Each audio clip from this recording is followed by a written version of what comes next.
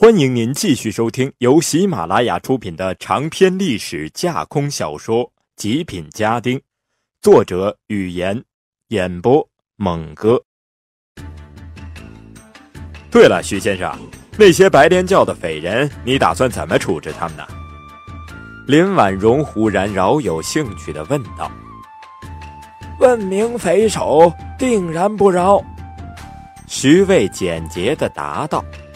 那带头的我却知道，叫做陆中平，不是？昔日我做客白莲教，对他感情可深着呢。林婉容笑道：“爷爷和孙子的感情哪能不深呢？”林小哥认得这陆中平？徐渭道：“此次他的确是带头之人，却绝非幕后之人。”徐渭的话里大有深意。林婉容笑道：“徐先生想问出什么来？怕早已是胸中有沟壑了，还费这些冤枉劲儿做什么呢？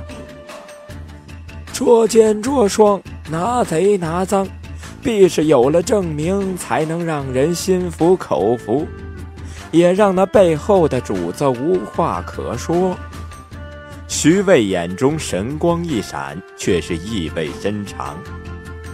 只可惜老朽此次走得匆忙，身旁皆是些精通功夫的护卫，审讯方面却非擅长。那个陆中平倒是嘴硬得很，问不出几句有用的话。他似是自言自语道：“靠，你这不是明显的邀约我吗？知道我和白莲教有仇，肯定会对这个感兴趣。”这老徐还真是个有心人呀！要说审讯的事情，虽然没有亲自干过，但没啃过猪蹄儿，还没见过猪跑吗？辣椒水、老虎凳，随便上几个，看那孙子招不招？长这么大还没审过人呢，我今天就冲着陆中平那王八蛋去的，老子专打落水狗！听到有这样的好事。林婉容原本落寞的心情一扫而空。日，当警察这么好玩的事情，傻子才不干呢。这个徐先生，我想去观摩一番。林婉容故作羞涩，徐渭望他一眼，哈哈大笑了起来。关着陆中平的地方，却是一间阴暗的小屋，他整个人被锁在镣铐上。脸色苍白，显得十分的憔悴。林婉容带着高俅走进去的时候，他自行架上抬起头，看到林婉容，眼中射出怒火，道：“姓林的，你来做什么？日被拿了还这么嚣张？你以为这是你家厨房啊？”林婉容笑道：“我来探亲呀，探什么亲？”陆中平怒道：“嘿嘿，探望孙子呀！”林婉容嘿嘿道。陆中平脸上一阵抽搐，大叫道：“姓林的，我与你势不两立！你妈的，掳老子到白莲教，要不是仙儿救我，老子就死在你和那陶王八的手上了。老子什么时候跟你俩立过？”林婉容嘿嘿笑着。对高俅道：“高大哥，听说这小子是个武林高手，是吧？”高俅点点头。林婉容笑道：“武林高手，这名头可真他娘吓人！破着武林高手的功夫，却有哪些？戳破气海，锁住甲骨。”高俅简洁答道：“嗯，听着怪有意思的。高大哥，那就麻烦你每样都试一百下吧。”林婉容悠哉说道，陆中平却是吓了一跳，惊道：“林四儿，你敢！”高俅也是吓了一跳，这个林公子真够狠的，每样一下，这姓陆的就算是废了，他竟然来一百下，以为这是切菜呢。我他妈有什么不敢的？林婉容猛地一拍桌子，吼道。你见过我有不敢做的事儿吗？对着你主子，老子都不怕，还怕你这孙子？陆中平脸色发白，当日林三儿被擒，却比我还嚣张。今日换了身份，他凭什么不嚣张？面对着徐渭身边的诸多高手，陆中平是一点不怕。可是面对这个带着邪气的林三儿，想不怕都难。你，你敢？林三儿，你有种的话，就与我单打独斗。见高俅一步步逼近，陆中平急忙高声叫喊了起来。声音却是带着哆嗦，皮肉之苦他不怕，可是废弃武功，那便是连死都不如了。嘿嘿，单打独斗是吧？林婉容嘿嘿一笑，对高俅道：“高大哥，你去带上十位武艺高强的大哥进来。”高俅不一会儿便带了十人进来，看那目中金光。个个都非泛泛之辈，林婉容站在那十人身前，指着陆中平道：“别说我没给你机会啊！你选择群殴还是单挑？”陆中平搞不清他话里的意思，便道：“何谓群殴？何谓单挑？”嘿嘿，所谓群殴，就是我们一群打你一个。林婉容嘿嘿笑道：“那单挑呢？”我选单挑，单挑，你一个打我们一群。陆中平怒道：“林三儿，你无耻之极！”林婉容上去就踹他一脚，道：“我他妈从来就没说自己高尚，妈的，路子是你自己选的。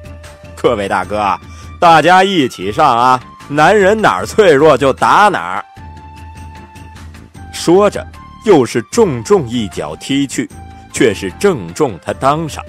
陆中平一声惨叫，十里外都能听得见。林婉容今日心情不爽，踢了两脚，浑身上下的毛孔都透着舒服。连高俅都觉得这林公子实在够无耻。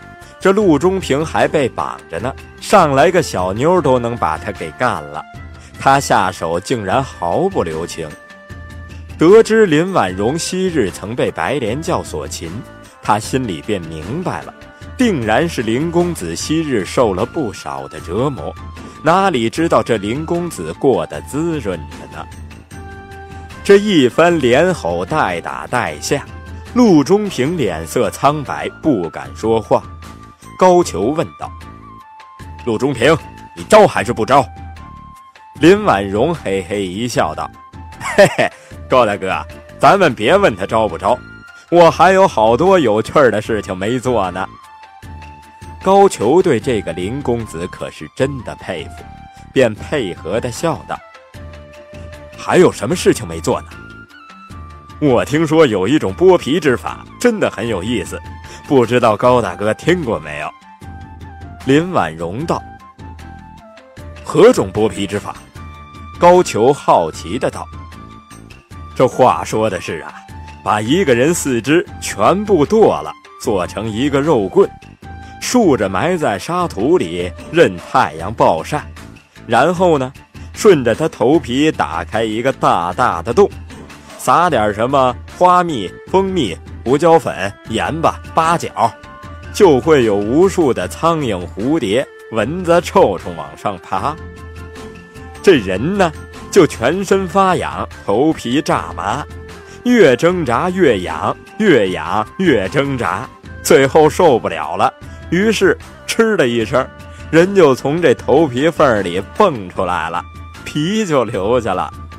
这个法子好玩的很，我还没试过呢。高大哥，什么时候有兴趣可以试试看呀？果真有此法，那可得试一试。高俅笑着道。似是有意无意的看了陆中平一眼，陆中平听得头皮发麻，暗自恼怒：当日抓到这林三之时，怎么没想到这些法门呢？都怪陶东城那个狗头军师，弄什么怀柔之计，害惨老子了。他知道这是林婉容在吓唬人，可是谁知道会不会有人真的一试呢？死倒是不怕。可是这样惨死法，他心里却是害怕之极。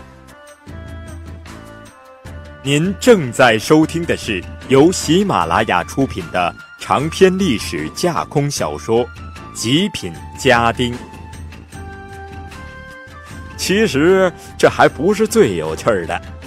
林婉容笑道：“高大哥，听说你们江湖之上有一种药叫做春药，是不是？就是吃完了之后让小妞发情的那种。”提到春药。陆中平打了个寒战，当日大小姐的春香就是他亲自点燃的，果然是现世报了。高俅道：“这个呀，是有的，效果好的比较著名的有我爱一棒槌、齐银合欢散、观音脱衣衫、如来大佛棍。观音脱衣衫、如来大佛棍，我日！”这两个我怎么没听过？真是淫无止境啊！林婉容笑道：“高大哥，一个男人吃了这春药会做什么呢？当然是寻个女子交合了。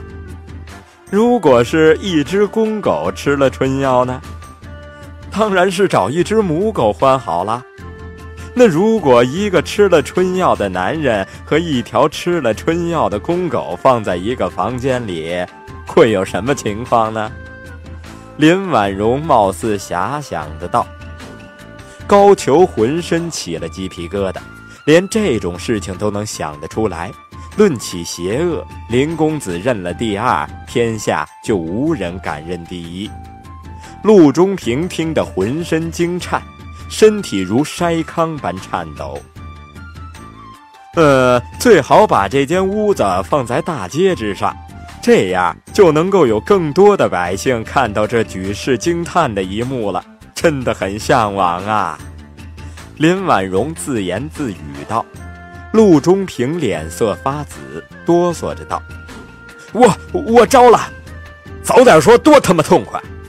林婉容一脚踹在陆中平身上，怒道：“害老子自己恶心半天！”林婉容大步出来，痛快。真他妈痛快！当警察的滋味就是爽啊！今日的郁闷之气算是彻底的抛开了。这陆中平就惨了点儿，不知道今夜会不会做噩梦。徐渭却是正站在门口望着他笑道：“林小哥，你博学古今，老朽实在是佩服之至。”你若入了朝堂，凭你这口才、机智和手段，便是封王拜相，却也不是没有可能啊！忽悠你就忽悠吧。”林婉容笑道，“搞搞小手段我还是可以的，但论起大阴谋，在徐先生面前，我还是甘拜下风了。”徐渭与他相熟，浑不以为意。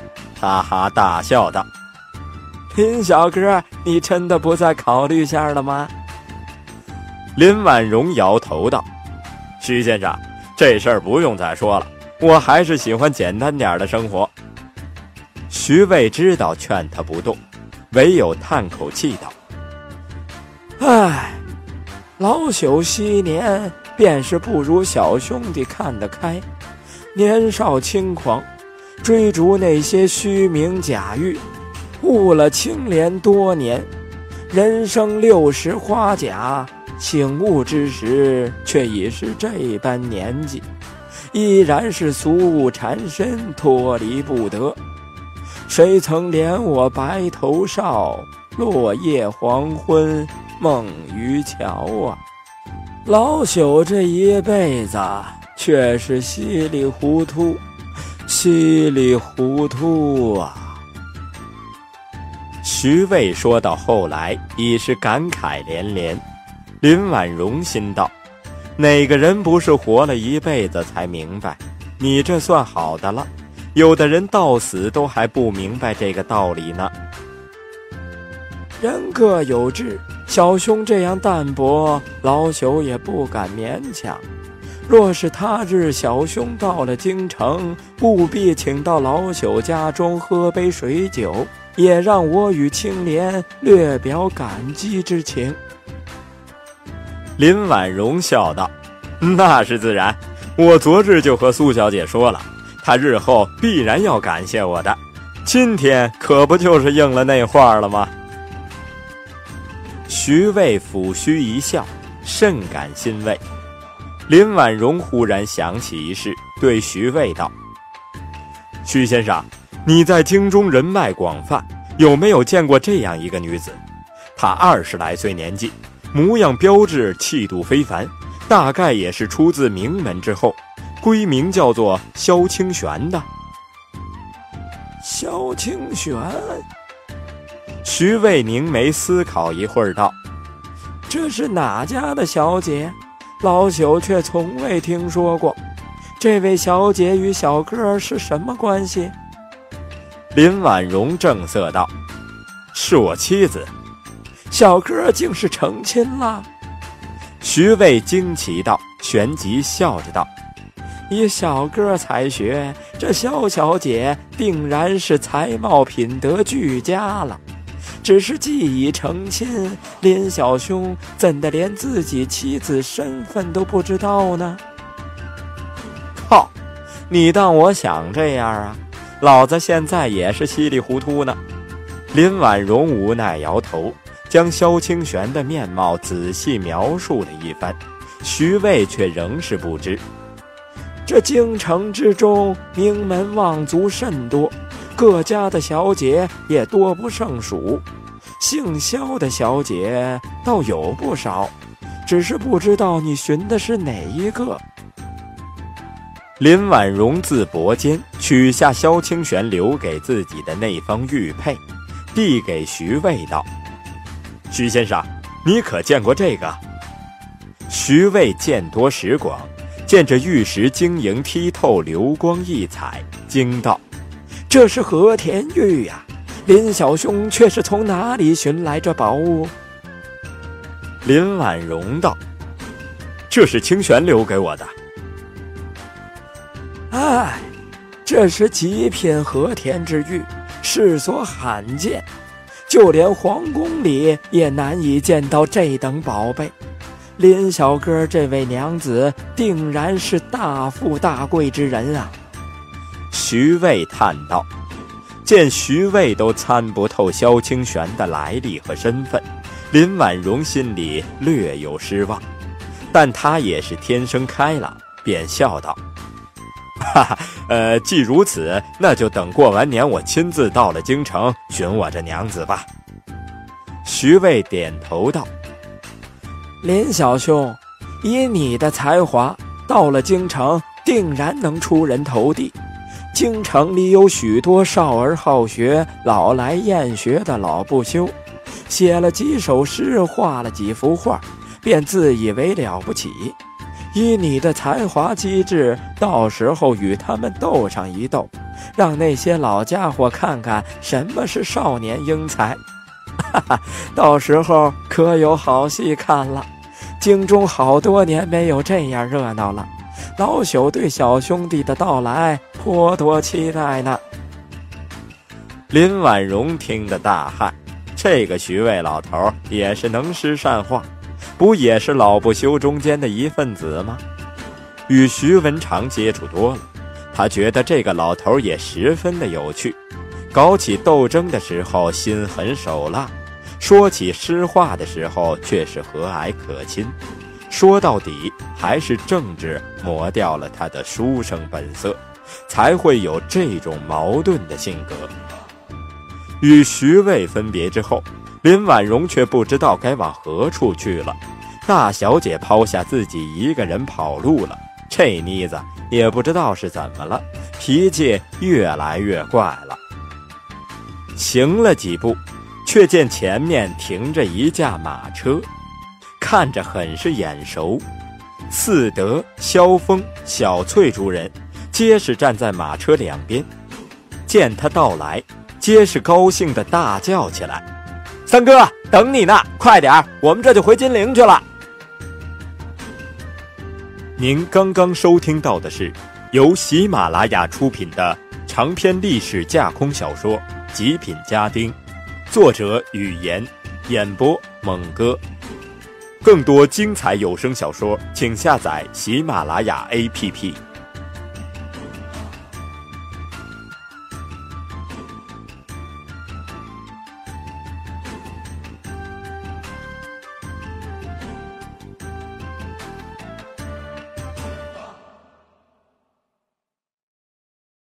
欢迎您继续收听由喜马拉雅出品的长篇历史架空小说《极品家丁》，作者：语言，演播：猛哥。第一百二十二集，林婉容走了过去，笑着道：“大家都在呀，怎么没跟随大小姐回金陵呢？”萧峰道：“林兄，是大小姐吩咐我们留下来等你的。”林婉容心里好受了点这小妞总算还有点良心，不仅留下了众人等待自己，还把他的马车留下来让给我用。他心里有点安慰，眼前诸人就以他的品衔最高了，这马车当然归他享受。他一步登上马车，正要去掀帘子，却听里面传来一声又羞又怒的娇喝道：“你快下去！”林婉容愣了一下，怎么听着有点像大小姐的声音呢？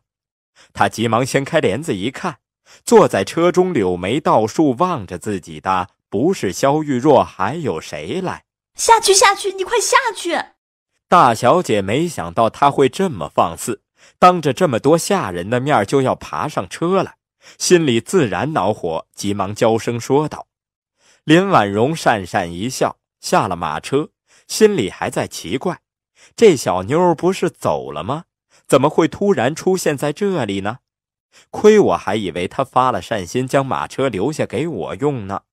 三哥，大小姐说我们一起来的，也要一起回去。小翠说道。这句话说的林婉容心中一暖，一起来自然要一起回去。没想到这小妞还有这般心思。也不枉我为她萧家出这么大力了。本来想着大小姐能说出这般暖人心的话，对自己应该笑脸相迎，好生安慰的，哪知事实却全不是那么回事儿。这一路回金陵去，大小姐再没有跟林婉容说过一句话，便仿佛她这个人彻底不存在一样，比来时的路上有过之而无不及。此次杭州之行，经历了共游与姻缘签事件之后，二人的关系本来有了明显的缓和迹象，只是经历了昨日之事，似乎又退回了以前的状态。林婉容几次提了话题要与大小姐交流一下，她却根本就不接话。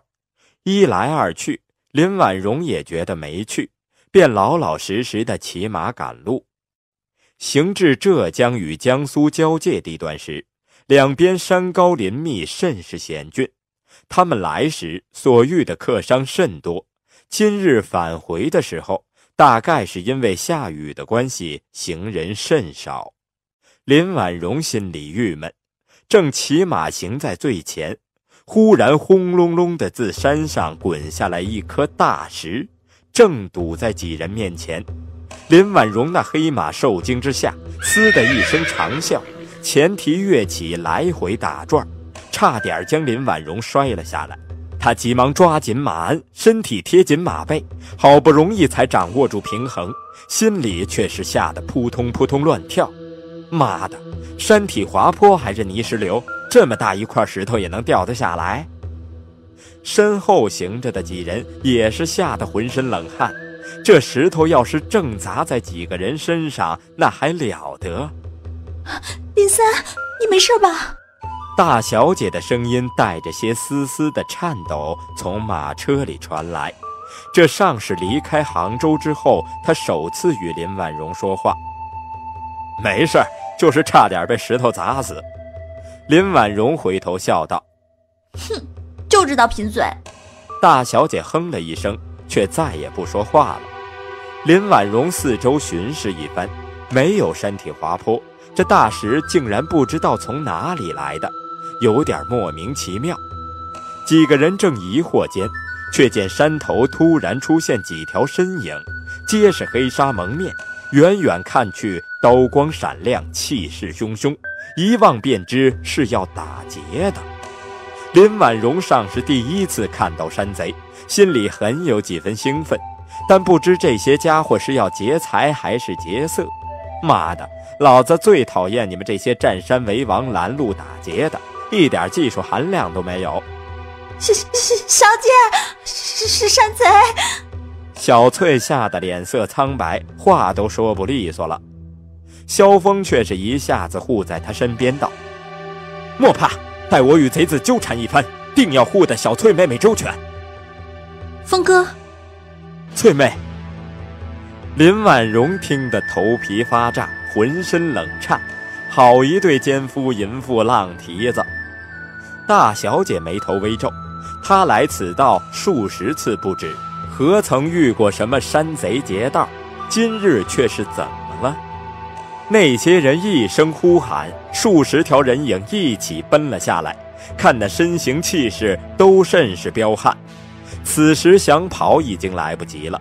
林婉容急忙翻身下马，顺手捡起一块石头，对诸人道：“护住马车，别让贼人伤了大小姐。”那数十条人影转眼就到了马车正前，其中一人高喊口号道：“此山是我开，此树是我栽，栽你妈个头！让你废话多！”林婉容怒骂一声，手中石头看准那人，便用力扔了出去。他又有力道又有准头，石头不偏不倚，正砸在那匪徒的脸上，顿时如同西瓜开了瓤儿。连话都没喊完，就栽倒了下去。众人皆是吃了一惊，匪徒们显然没有想到对方竟然如此的彪悍。己方还未开动，已是折了一人。四德和萧峰主人则是一起高声惊呼了起来，声音中隐隐带着点兴奋。林婉容身上装着不少宝贝，姑且不算她那莫名其妙的高手身份。秦仙儿送他的毒针，萧清玄送他的火枪，哪一样都够这些匪徒喝一壶。林婉容正愁没处施展呢，今日也算他们点儿背了。您正在收听的是由喜马拉雅出品的长篇历史架空小说《极品家丁》。一个匪徒倒地。站在这匪徒身边的领头模样的人望见那石头，眼中闪过一丝怒光，道：“快将他们拿下了！”要真是劫道的匪徒，定然是说“兄弟们上啊”，哪里会说“拿下”这么文绉绉的词儿？林婉容看那匪首手上缠着些纱布，声音有些熟悉，恍然大悟：“妈的！我说这太平地界怎么出了毛贼呢？”原来是这陶王八在作怪。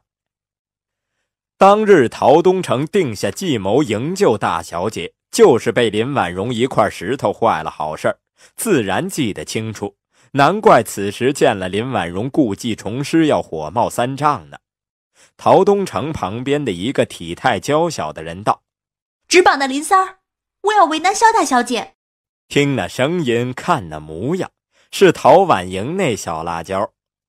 林婉容听得火冒三丈，我日啊！你们兄妹二人联袂打劫也就算了，还要专拿老子当老子就是好欺负的吗？这姓陶的小妞还是什么工人，真是白吃那些粮食了！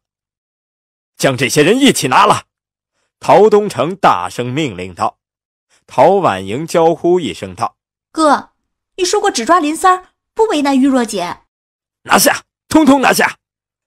林婉容听着兄妹二人争吵，心里明了：这个陶婉莹与自己有仇，与大小姐交好，所以才要只拿林三儿。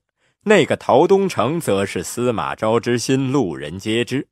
也只有陶婉莹这种笨妞才会相信他。十来个匪人一起冲了上来，林婉容高呼一声护住大小姐，手里却是捡起两块石头，砰砰的砸去。他力道与准头皆是一流，又专门打脸，匪人想躲也躲不开。当下又有二人中招。陶东城见自己家将如此不中用，急道：“一起上，先拿大小姐。”林婉容虽有一身功夫，但他天生是个懒人，能坐着绝不站着，能躺着绝不坐着，身上又是毒针又是火枪的，刷刷几下就能搞定的事情，傻子才与他们肉搏呢。也是时候练练枪法了。林婉容嘿嘿一笑，正要去怀里摸火枪。却听一声长啸，一个人影风驰电掣般赶来，迎上了那些贼人，便缠斗了起来。这人武艺甚是高强，以一敌多，却还是占据上风。转眼便放倒了两三人，直让陶东城兄妹色变。林婉容看得清楚，这相助之人竟然是徐渭身边的护卫高俅高大哥。日啊，保镖来了！林婉容心里大是兴奋，一定是徐渭派了他来保护我的。这老头真够哥们儿，也不枉我为他做媒，只是可惜了一次大好的练枪机会。高俅乃是宫里的护卫高手，身手哪是陶东城的家将们所能比的？三两下便将那十来人收拾了一半。陶东城一见情形不对，转身便要逃走。陶婉莹却是比他哥哥有血性多了，望着林婉容道：“我一定要拿下林三这恶贼。”陶东城心里一急，左手拉了陶婉莹就要逃走。林婉容哪能轻易的放他们离开？妈的，你们刚才不是威风的很吗？又是开山又是栽树的，老子今天要是让你们逃了，林字儿倒过来写。他行事向来匪夷所思，不按套路出牌。瞅准了空子，几步奔了上去，撵上陶东城，大喝一声道：“陶公子！”陶东城下意识的回头一看，只觉眼前一花，林婉容重重一拳砸在他太阳穴上，陶东城头昏眼花之中，便一声不吭的倒在了地上。哥！陶婉莹见自己哥哥晕倒在地，一声悲呼，紧紧的拉住陶东城的手。望着林婉容，眼中射出无比的愤怒之色，道：“ 林三，你想怎样？真他妈好笑！陶小姐，明明是你来打劫我，却还要问我做什么？”林婉容嘿嘿笑道：“嘿嘿，既然你问起来了，我不妨告诉你，你们做匪人做得出色，好玩之极，我心里痒痒，也想做一回劫道的强盗。”你，你要劫什么？陶婉莹惊道：“林婉容轻挑一笑，道：‘嘿嘿，我要劫个色。’”听众朋友，本集播讲完毕，感谢您的收听。欢迎您继续收听由喜马拉雅出品的长篇历史架空小说《极品家丁》，作者：语言，演播：猛哥。第一百二十三集。林三，你敢！陶婉莹又惊又怒的说道，身体却不由自主往后急退几步。自那日金陵城中被林三羞辱之后，他对林婉容就有种畏惧之感。在杭州晴雨楼上，又是这个林三害自己哥哥丢了店铺，丢了颜面，还伤了他手指。他心里激怒之下，才赶来找他寻仇。你也知道。我是恶人，有什么不敢的？林婉容笑道：“这小妞的话实在没营养。”他嘿嘿连笑，直往陶婉莹逼去。论起打架，陶婉莹本来就不是林婉容的对手，何况还是处在现在这种一边倒的情况之下。陶婉莹吓得惊叫两声，却仍是紧紧拉住陶东城双手，不愿意放开。他此时惊吓之下，已完全忘了自己的花拳绣腿，变成一个彻头彻尾的小女孩。林婉容冷冷看着他道：“陶小姐，你是自己束手就擒，还是要我动手呢？”陶婉莹见识过他的强悍，知道今日逃脱不得，便一咬牙道：“林三，我留下，你放了我哥哥。陶婉莹纵有千万个不是，但临难之时却不愿意舍弃亲人，这点倒也难能可贵，也算是他留给林婉容的唯一好印象。林婉容哈哈大笑道：“哈哈哈哈，陶小姐，你有资格来讲条件吗？说起来真是好笑，今日不是你们姓陶的打劫我们吗？现在怎么轮到你来哀求我了？”陶婉莹咬着牙齿不说话，林婉容上前几步，挑起她的下巴，轻佻的在她脸上摸了一下，笑道：“陶小姐，你除了身材之外，别的还真难说哪个地方长得好看呢。”陶婉莹啊的一下跳开，惊怒之下，眼眶都红了起来。林三，你要敢欺负我，我做鬼也不会饶了你。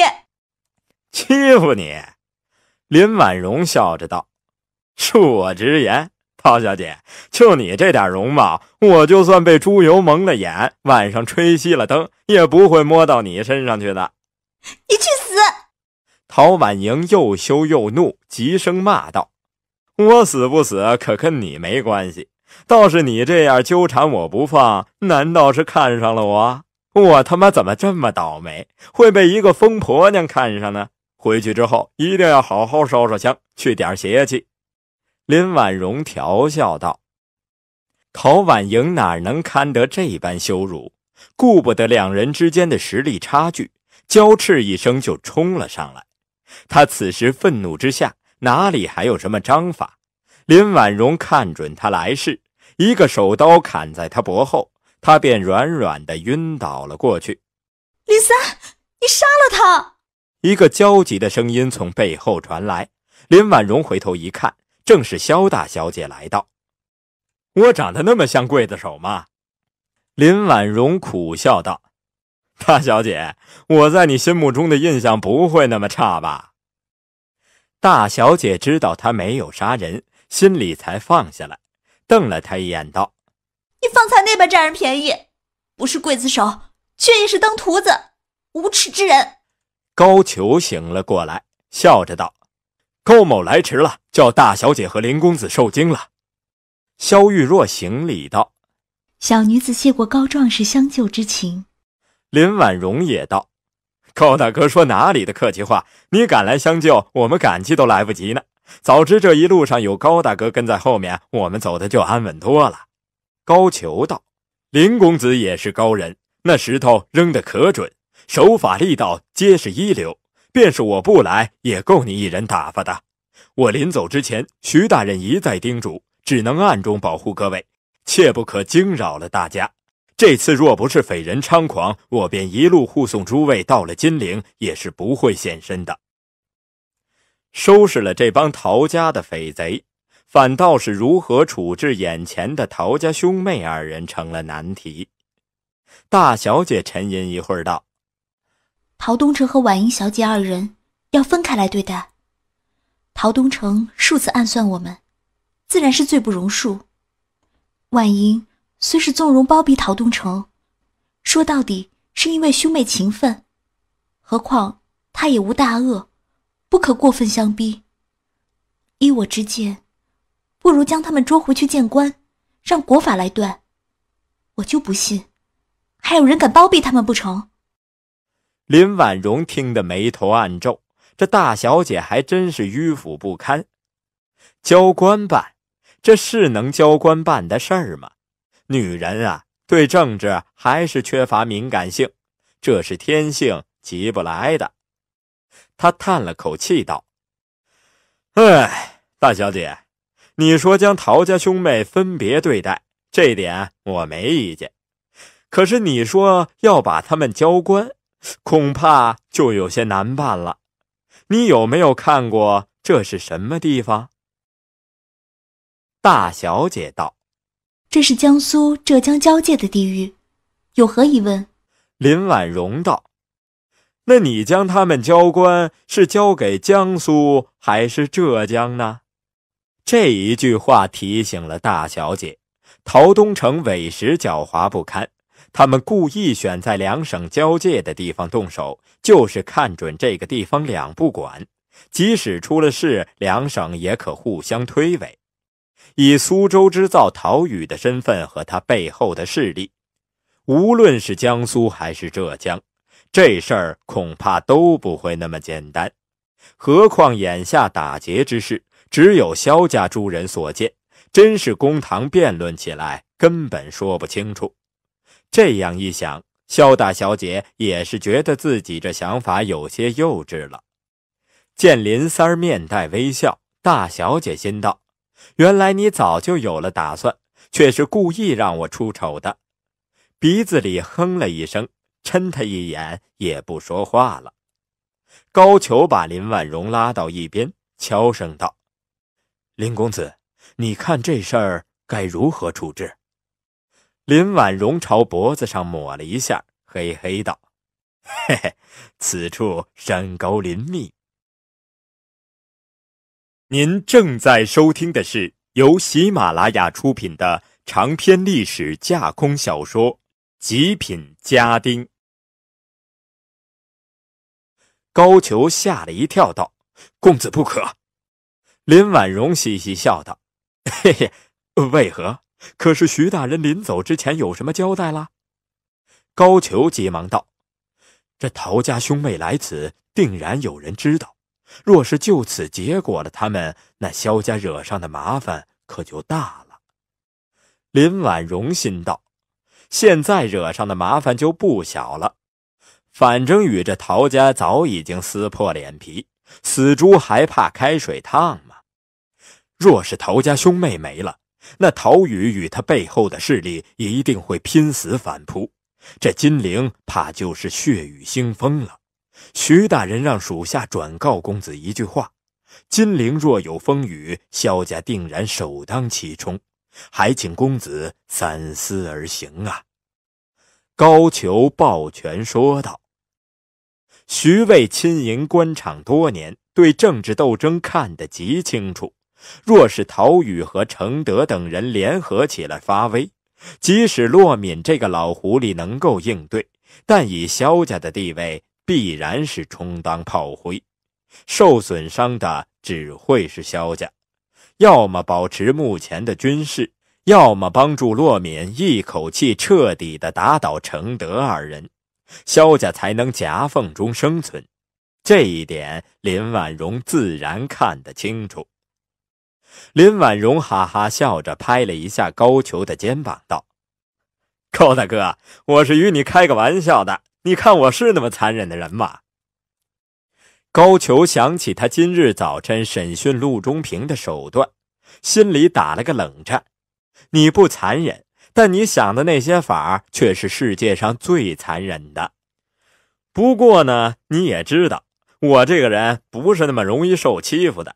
这姓陶的三番两次使出阴谋诡计害我们萧家，我要是不出口气，也太对不住自己了。你说是不是，高大哥？林婉容道：“那是自然，好男儿有冤报冤，有仇报仇。”高俅说道。林婉容点头道：“这话我喜欢听。高大哥，你认为对一个男人来说，干什么事情的时候最快活呢？”高俅想了想，道：“逛窑子。”我晕，这老高真没追求，看来也就是个逛窑子的主。林婉容嘿嘿笑道：“ 嘿嘿，高大哥果然高见。那有什么法让一个男人一辈子逛不了窑子，玩不成女人呢？”阉了他。高俅顺口说道，说完之后自己都吓了一跳。这个林公子竟然想阉割了陶公子，他急忙道：“林公子，这可不行，那与杀了他没什么两样。”林婉容笑道：“高大哥说到哪里去了？我这个人连杀鸡都怕，阉割那样血淋淋的事情，我怎么做得出来呢？要做也会做的隐蔽点嘛。高大哥是武林高人。”有没有什么手法可以截断他某个部位，让他暂时不能察觉，过些时日才能慢慢显现，然后一辈子都做不成男人呢？高俅为难的道：“这个有些法门，未免过于阴毒了些。林婉容听他话里的意思，却是有门，心里大喜，笑道：“寇大哥，你看我像个光明磊落的人吗？对着敌人越阴的，我越喜欢。”高俅很有些无奈，遇到了这个神奇的林公子，谁若敢跟他比阴险，那是自己找死。当下只得点点头，答应了施个手法。林婉容将陶东城提了过来，扔在地上。高俅道：“我施这手法的时候过于疼痛，怕是这姓陶的会惊醒过来。”这个好办。林婉容笑道：“从兜里取出萧清玄相赠的蒙汗药，幸亏这蒙汗药都是用牛皮纸包了，昨日落水时才没打湿。”高俅行走江湖多年，一眼便看出这是什么，心道：“这个林公子也不知是个什么来路，随身带的都是些宝贝，倒是比这个陶东城更像毛贼。”林婉容叫四德取下水壶、小碗，倒了清水，将蒙汗药撒了半袋进去。他是初次干这勾当，不知道用多少。高俅却是暗自咋舌，这都可以药倒一头牛了。给姓陶的喝了，没有三天功夫是醒不来的。林婉容在地上找了根柴火，随意搅和了两下，道：“行了。”这可是上等好药，乃是行走江湖、采花猎艳必备，一般人我不会轻易用的。高俅使了个手法，捏开陶东城喉咙。林婉容将这碗冒着白沫的好东西给陶东城灌了下去，笑道：“好了，高大哥，你可以开始了。”听众朋友，本集播讲完毕，感谢您的收听。欢迎您继续收听由喜马拉雅出品的长篇历史架空小说《极品家丁》，作者：语言，演播：猛哥。第一百二十四集。高俅道：“林公子，我使的这手法乃是独家法门，十分阴损恶毒，是坏了他筋脉。这姓陶的一个月内不会察觉，之后便会慢慢的显现出来。”他自己根本就无法察觉是怎么回事情，到时候就是大罗金仙下凡，他也做不了男人了。这手法同道中人极为不耻，还请公子替我保密。日，这应该就是破坏海绵体结构之类的手法。这个法果然妙，一劳永逸，老子也要学。林婉容嘿嘿直笑，义正辞严的道：“ 嘿嘿，呃，高大哥尽可放心。”咱们这是正义的举动，不怕别人闲话。话说回来，咱们再阴险，能阴得过这姓陶的吗？这都是他恶有恶报，咎由自取。我们只不过替天行道而已嘛。高俅点点头，不再说话，从身上取出两根长针，找准位置，迅捷地插在他裆部。陶东城小腹渐渐地鼓了起来，高俅运足气力。嘿的一声，拍在他小腹上，陶东城脸上泛起一股痛苦的神色，接着便又安睡了过去。高俅抹了把汗珠，笑道：“成了，这小子一个月之后，怕是做不了男人了。”林婉容忽然道：“寇大哥，你身上带的有没有春药？”高俅老脸一红，道：“公子要这春药做什么？”林婉容嘿嘿一笑，道：“我怕这陶公子玩的不过瘾，再请他吃上一吃。”高俅打了个冷战，这姓陶的那玩意儿筋脉已碎，若再加点春药，怕不是立马爆了。这林公子真乃淫人神人。高俅不好意思的掏出一包药粉，道：“这个就剩下一包如来大佛棍了，呃。”观音脱衣山前日逛窑子的时候使了。林婉容接过药粉，笑道：“哦，高大哥还有这种兴致？前日怕是爽到骨子里了吧？”陶东城那日与陆中平勾结了，想用这春药坏了大小姐的清白，哪里想到今日便遭了现世报？林婉容将那如来大佛棍给陶东城灌了进去，嘿嘿，让你在此昏迷三天，再劲爆三天。脆弱已碎的海绵体加上威猛的春药，哪要一个月？怕是半月之后你就做不了男人了。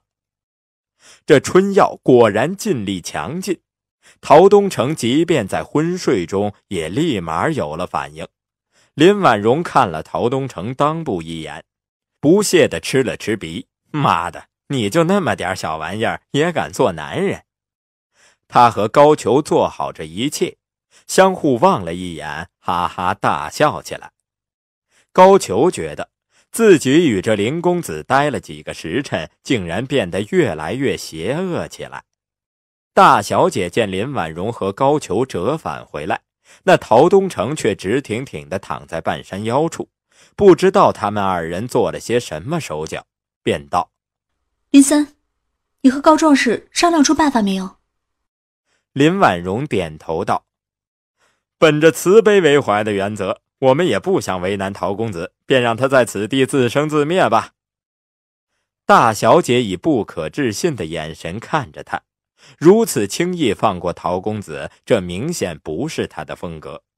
林婉容笑道：“ 嘿嘿，狗能咬人，但人可不能咬狗啊。”大小姐不屑地吃吃小鼻子，我还不知道你这人天生不吃亏。狗咬了你，你要打回去，怕是咬的比狗还带劲。想到这里，却是扑哧一声笑了出来，没好气的看他一眼，心里有种说不出的滋味。平静了下心境，见林三真的不再管那陶公子，说走就走，这倒更叫大小姐疑惑了。带着一个被打晕过去的陶婉莹行路，很是累赘。按照林婉容的意思，放在马背上就行了。大小姐与陶婉莹却有些情意，坚持将陶婉莹放在了车厢里。林婉容有些不放心，谁知道这小妞什么时候醒来，又会做出什么事情？行了一盏茶功夫，琢磨着陶婉莹也快醒来了。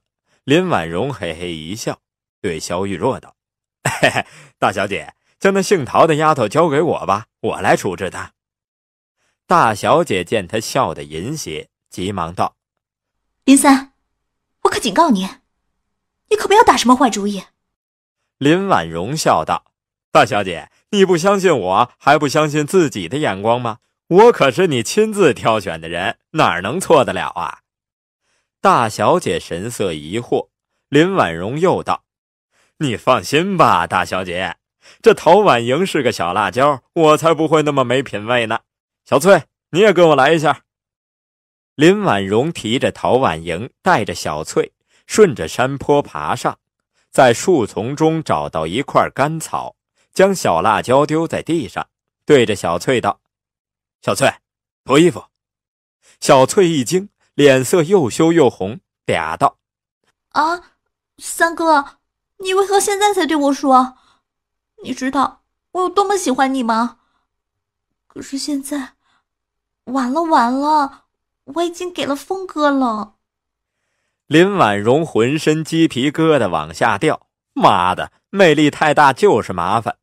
她止住骚意正浓的小翠道：“小翠姐姐，我是让你给陶小姐脱衣服。”啊！小翠惊叫了一声，不敢看三哥。急忙笨手笨脚的去解陶婉莹的衣服，林婉容在旁边教唆道：“不要用解开的，要撕开，撕一半留一半，要用力，要狂野。”小翠又惊又羞的脱完陶婉莹衣服，真的是连撕带拉，陶小姐的衣服被撕了一半，酥胸半露，欲遮还羞。偏偏还欲盖弥彰的用那破碎的长衫盖在他身上。您正在收听的是由喜马拉雅出品的长篇历史架空小说《极品家丁》。在他脖子、胸膛、大腿根上使劲掐。林婉容又道：“尤其是腿根上，一定要让他醒过来就感觉到疼痛。”小翠不知道三哥要做什么，便依他嘱咐使劲下手，直到陶小姐腿上又青又紫，这才停了下来。见办的差不多了，林婉容嘿嘿一笑，正要离开，忽然觉得还有些不够逼真，似乎还缺了点什么。他想了想，回到陶小姐身边，取过针尖刺破她指头，挤下几滴血珠滴在她身下。小妞，我对你可谓仁至义尽了，你却还是一再挑衅我。宁惹阎王，莫惹三哥。恶人自有恶人磨。这次不吓掉你半条命，你还真不知道马王爷长着三只眼。林婉容嘿嘿干笑几声，便带着小翠下了山坡。萧玉若见他这许久才下来，忍不住望他一眼，道。也不知道你这个人在打什么鬼主意。林婉容笑道：“大小姐，我冤枉啊！我真的是什么都没做，不信你可以问问小翠姐姐啊。”小翠红了脸，将林婉容吩咐她做的事情告诉了大小姐。萧玉若听得脸色通红，虽然只是个小小的计谋，可这一手真是坏到家了。依婉莹那种刚愎自用的性格。实打实的要上当，到时候他怕是吓都要吓死了。偏林三儿根本就没碰过婉莹，只是利用了女子普遍的心理，也无从责怪。要怪就怪婉莹，惹谁不好，偏惹了林三儿这坏人。大小姐心里叹了一声，一挥手，马车继续前行。高俅骑马跟在林婉容身边，奇怪的道。林公子，你对那姓陶的丫头做了什么？不会也为了如来大佛棍吧？如来大佛棍，我看谁的骚劲儿也比不过你这大银棍。林婉容嘿嘿一笑，还没说话，便听见远处那树林中传出一声高亢的尖叫，似是出自女子之口，凄厉之极，恐怖之极。大小姐知道这是婉莹醒了。听他叫得如此凄惨，心生不忍，忍不住狠狠瞪了林婉容一眼。林婉容两手一摊，无可奈何的道：“我是无辜的，真的无辜啊！”这次林婉容算是把陶家整了个痛快。妈的，这口气也憋得够久的了。今天是这姓陶的自己找上门的，可不能怪我。这一路回金陵。有了高俅护卫在侧，果然太平之极，就连蚊子也不敢盯上他们一口。见着金陵城遥遥在望，林婉容才是长长的出了口气。出差就是累呀，还是家里好。想什么时候吃就什么时候吃，想什么时候睡就什么时候睡。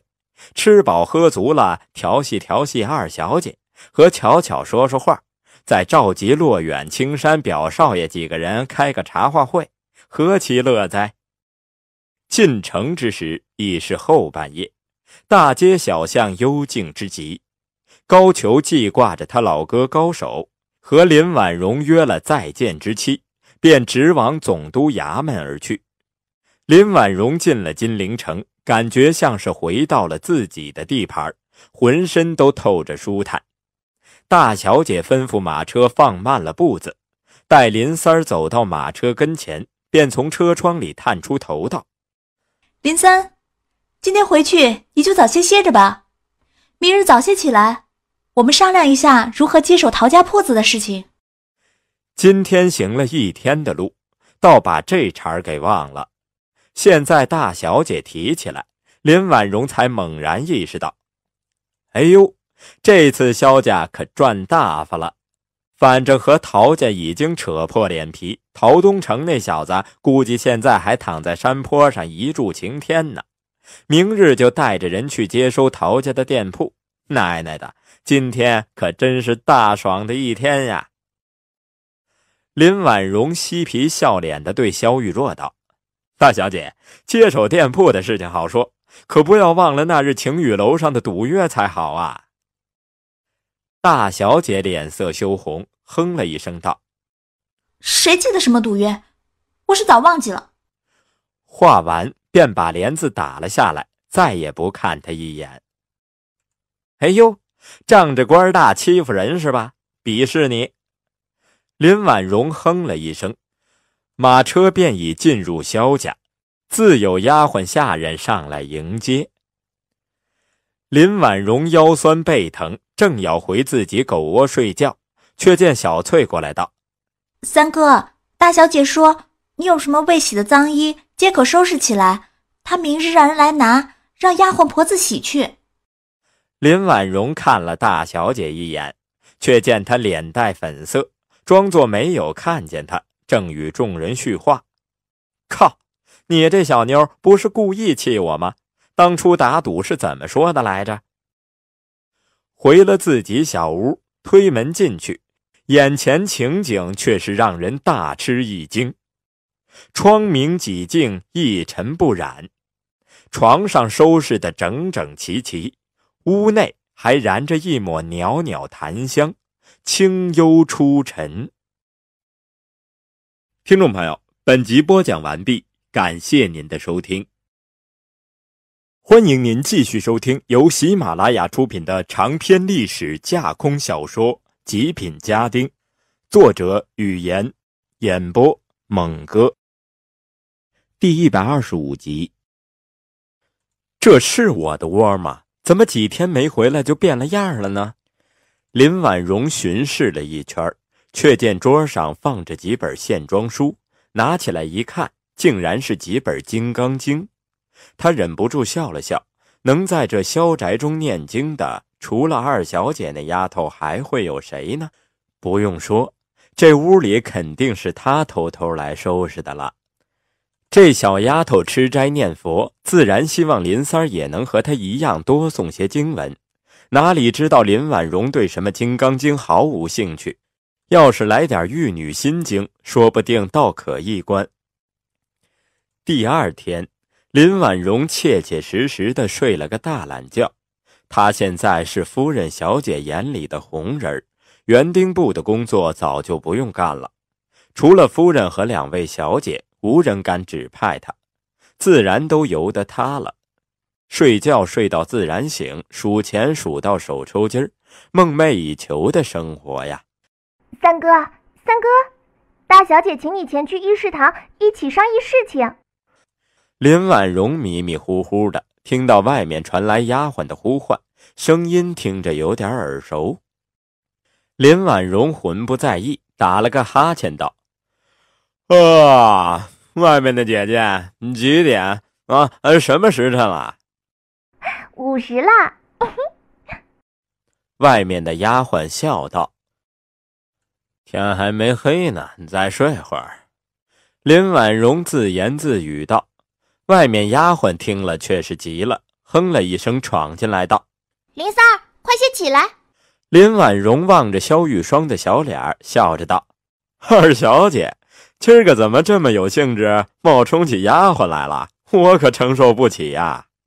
萧玉霜知道他早就听出了自己的声音，显然是故意调笑自己的，脸上一红，哼道：“你这人，昨个晚上回来了也不告诉我一声，害我整天担心。”林婉容早已起了床，笑道：“昨天我们回来的时候，全府上下都知道了，这么大的动静，怎么没有人告诉你吗？”二小姐脸上羞赧道：“我这几日天天念经诵佛，不让别人打扰。昨个儿又帮你收拾这屋子，夜里回房却是念着念着睡着了，不知道你们回来了。”这丫头还真是虔诚啊！说到底都是为了我。林婉容心里感动，拉住她小手道：“不打紧。”你若是累了，就好好休息。那佛经不念也罢。天上的菩萨吃的是香火，要的是银钱，可不吃这佛经。我多赚点银子，施舍点香火就可以了。二小姐急忙伸出小手捂住他的嘴，道：“林三儿，你不要瞎说。上次你和姐姐安然无恙，都是菩萨显灵，不可不敬。为了你们，念上一个月的佛经，又算得了什么？”便是念上一辈子，我也愿意。闻着他手指上的淡淡幽香，林婉容心里一动，惊奇的道：“二小姐，你用的可是香水？”萧玉霜小脸羞红道：“我用了些母亲的玫瑰香水，林三，好闻吗？”“好闻，太他娘好闻了！这萧家娘仨竟然都喜欢玫瑰香水，嘿嘿，有趣之极。”林婉容拉过他小手道：“好闻，好闻极了！二小姐，几日不见，你清减了许多呀。”萧玉霜点点头道：“嗯哼。”这些时日都吃些斋菜，自然会瘦些啦。林婉容盯着他胸部刚刚发育完成、已经初见规模的蓓蕾，正色道：“二小姐，你正处在青春发育期，很多地方都长得很快的，光吃斋是不行的，一定要荤素搭配，这样才能促进胸部啊啊呃全身的发育。来，我来抱抱，看看你到底瘦了几斤。”二小姐飞一般的逃开。双颊生韵，羞道：“你这人就会欺负我，真是讨厌死你了。”姐姐说：“我们女儿家的身体真若性命，可不能让别人给碰着了。”林婉容想起临走那晚，躲在萧二小姐房中，听到大小姐交给玉霜的女子防狼术，心中大是不爽，嘿嘿笑道：“嘿嘿，二小姐。”那匕首藏在身上，十分的危险，不如交给我来替你保管吧。我这人最正经了，从不占人便宜。二小姐轻轻嗯了一声，脸上升起两片红晕，缓缓垂下头去，道：“林三儿，你不要怕，那匕首乃是我防身的，是防着别人的。你这人虽坏，我却是被你欺压惯了的，便是被你欺负死了。”我也毫无怨言。林婉容除了感慨还是感慨。谁说这丫头只有十六七岁？她说出来的这些话，就是二十六七岁的丫头也未必说得出来。感动死老子了！您正在收听的是由喜马拉雅出品的长篇历史架空小说《极品家丁》。萧玉霜毕竟年纪不大，正像花骨朵般。林婉容抱着养肥了再杀的心态，也不去过分调戏他，只与他说些话，偶尔轻薄一番，相处的也十分美好。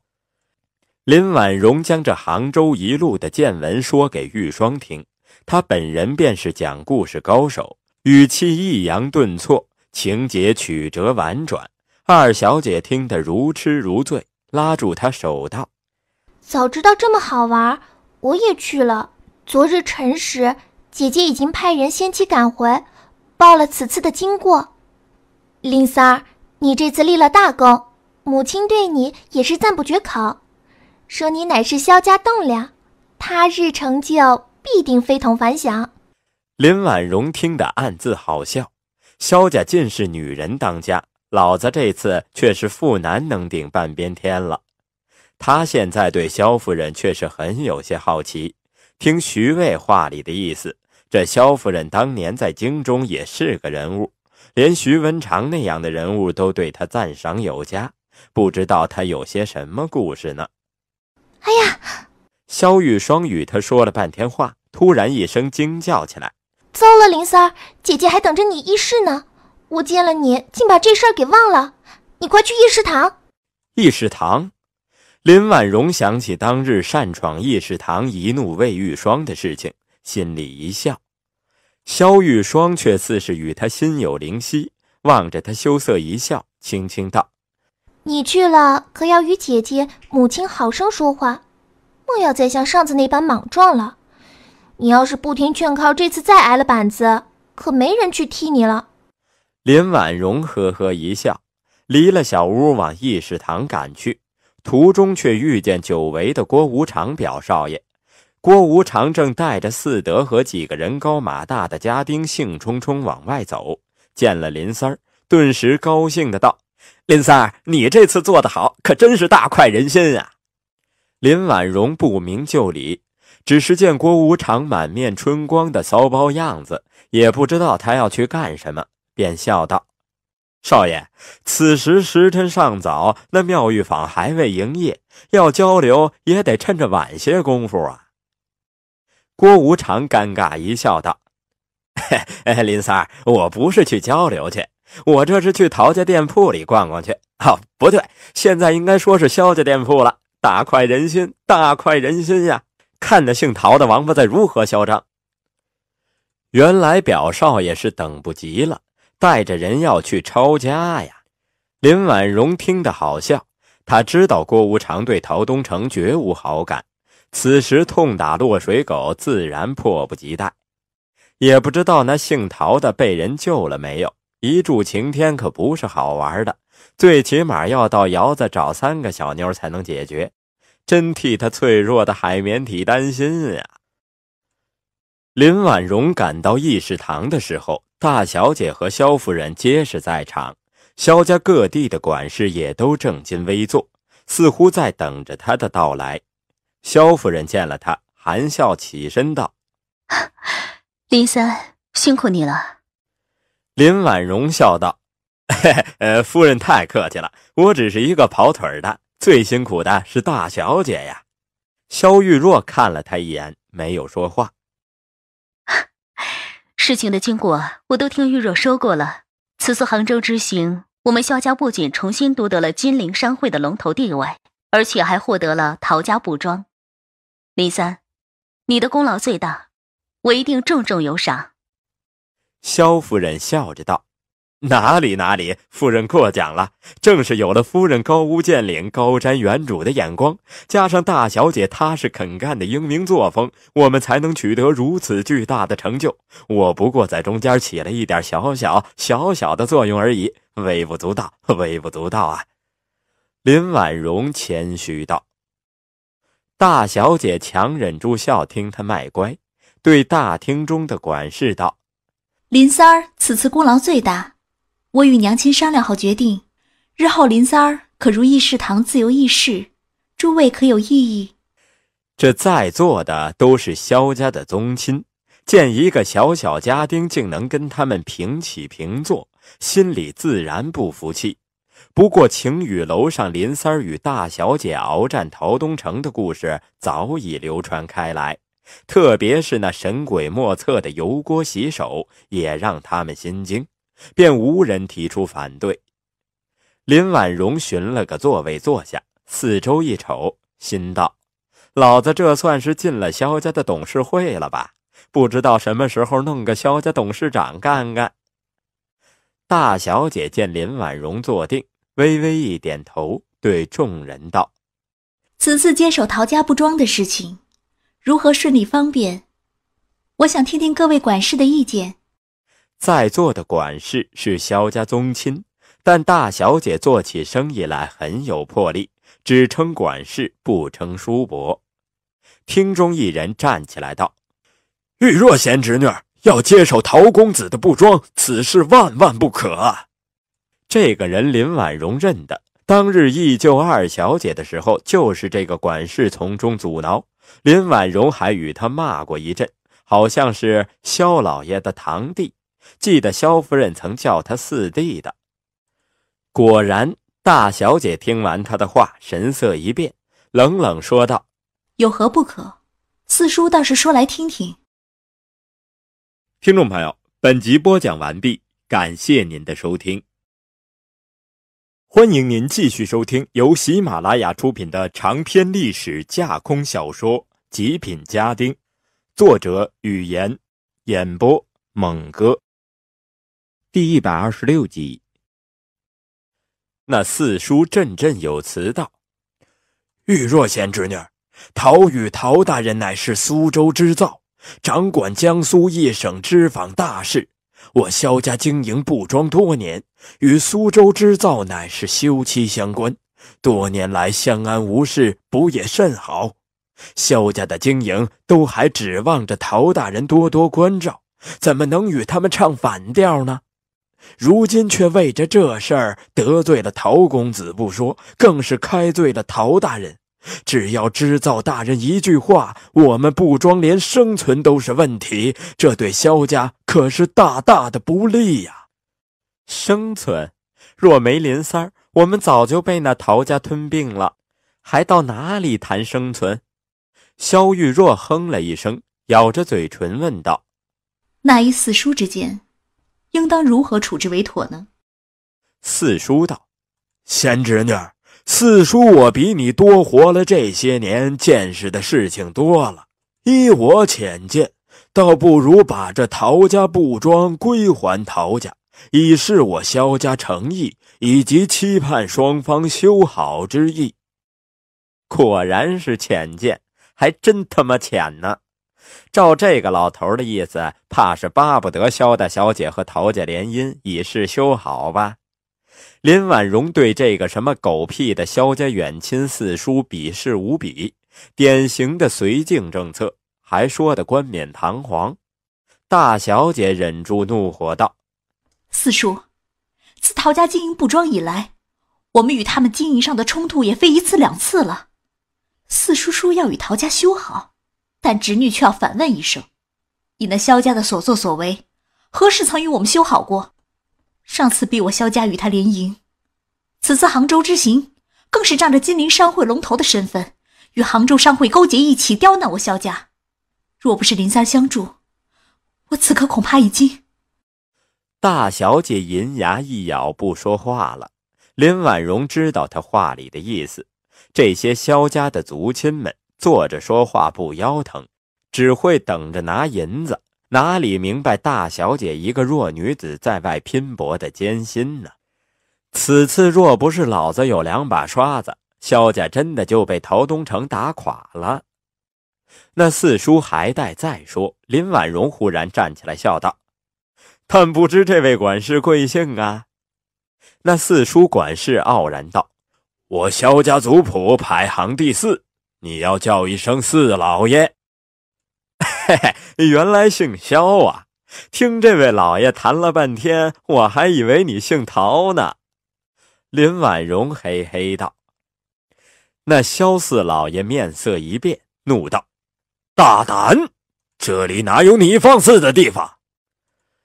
大小姐见林三儿出头，感激看他一眼，对那四叔生硬的道：“四叔此言差矣，准许林三儿进入议事堂议事，乃是我与母亲的决定。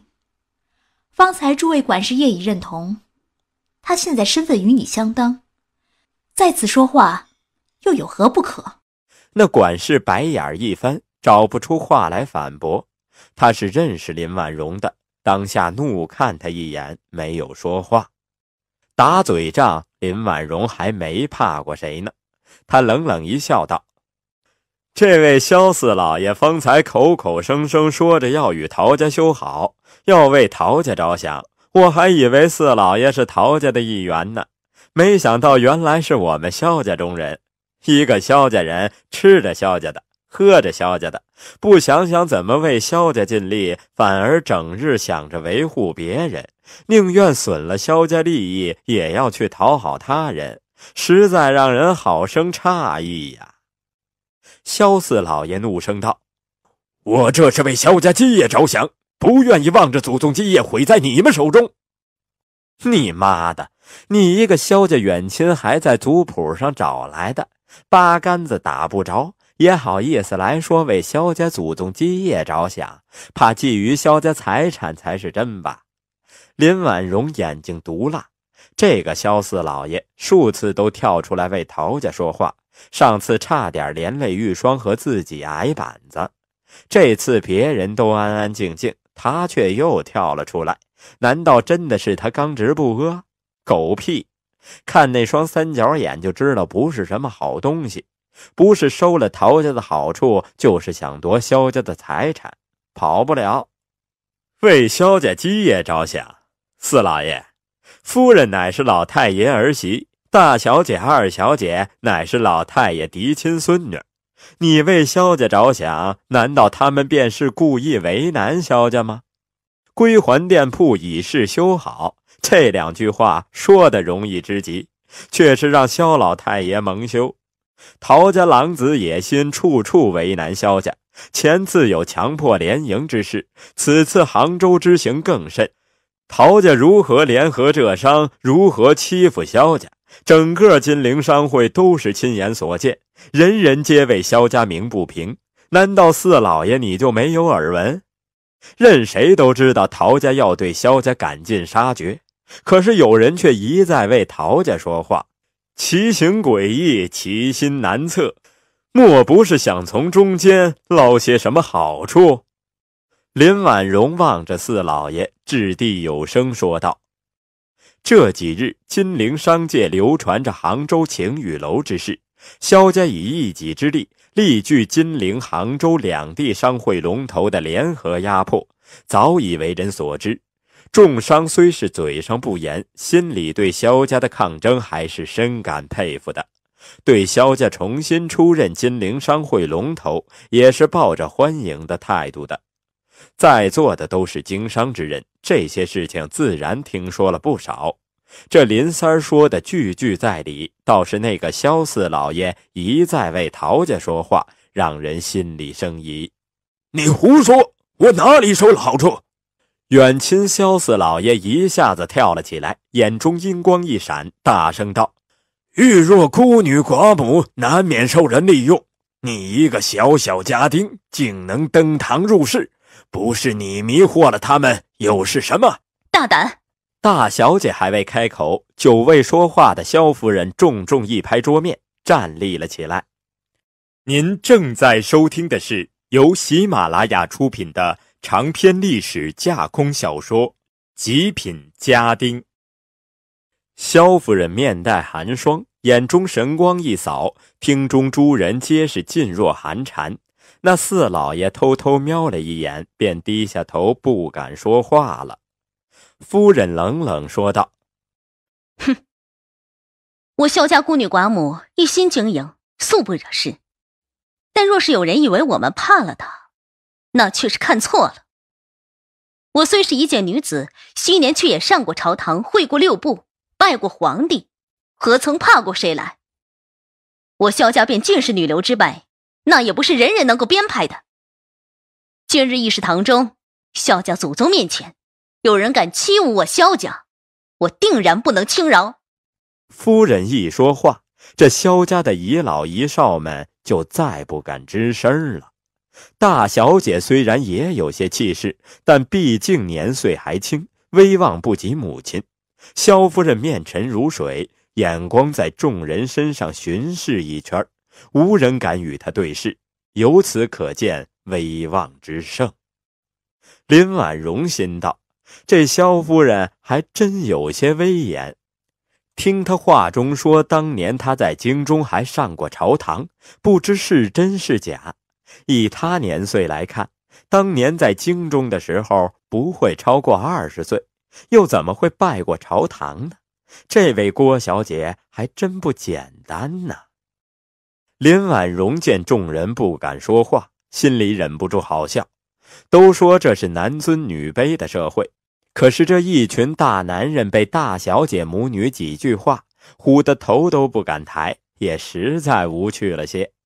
数十号人，唯有林婉容神情怡然自得。她见识过的人物多了，从朝廷一品大员到地方高级首长，还真没怕过谁呢。萧夫人在打量别人，林婉容却在打量她。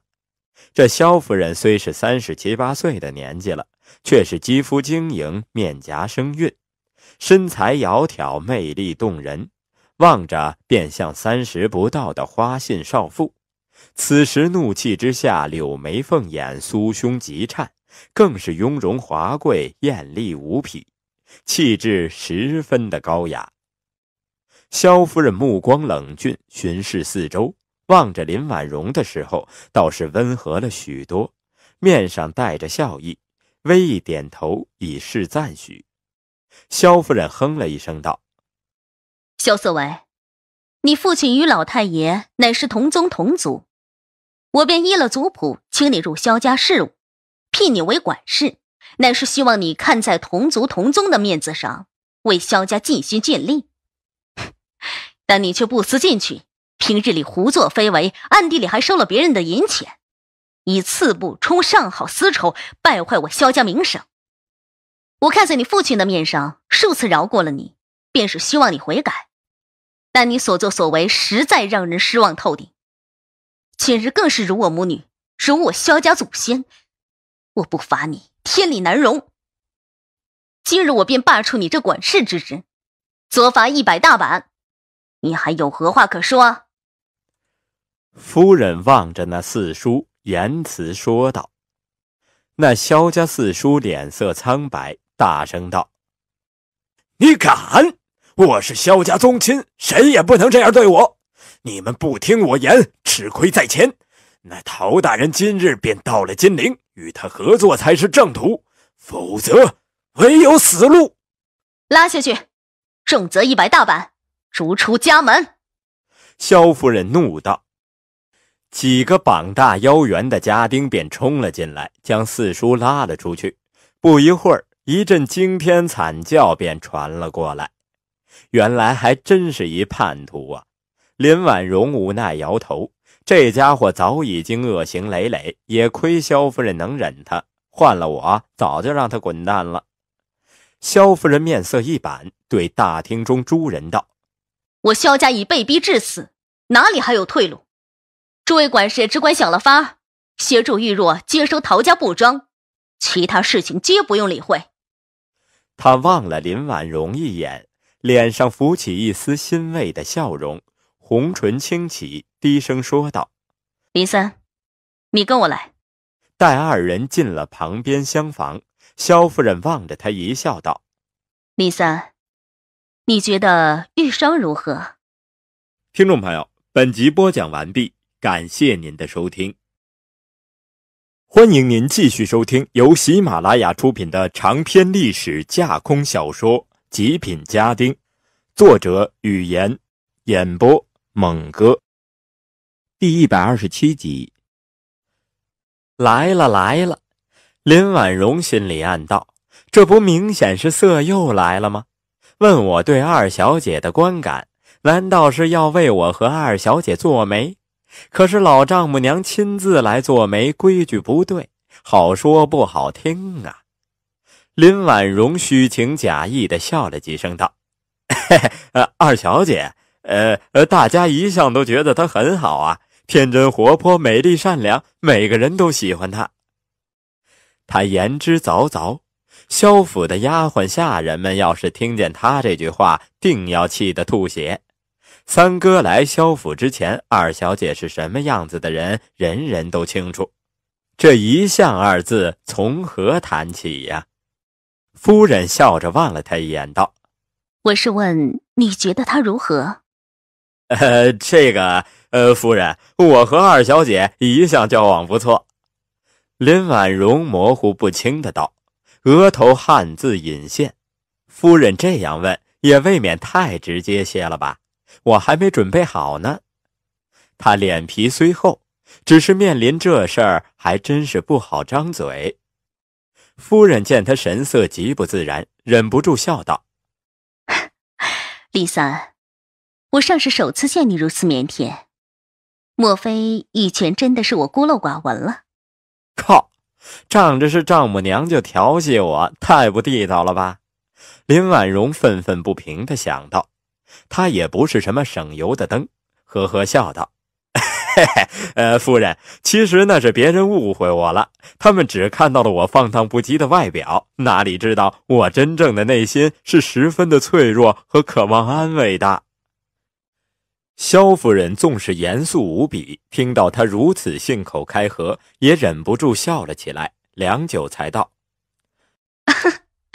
李三，早听玉若说你舌生莲花。”往日我还不尽心，今天总算见识到了。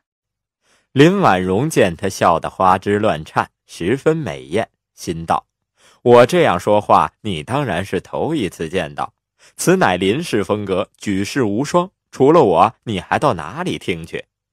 林三，你是哪里人士？家中还有何人呢？萧夫人又道：“如果没记错的话。”这应该是夫人第二次问起这个问题了。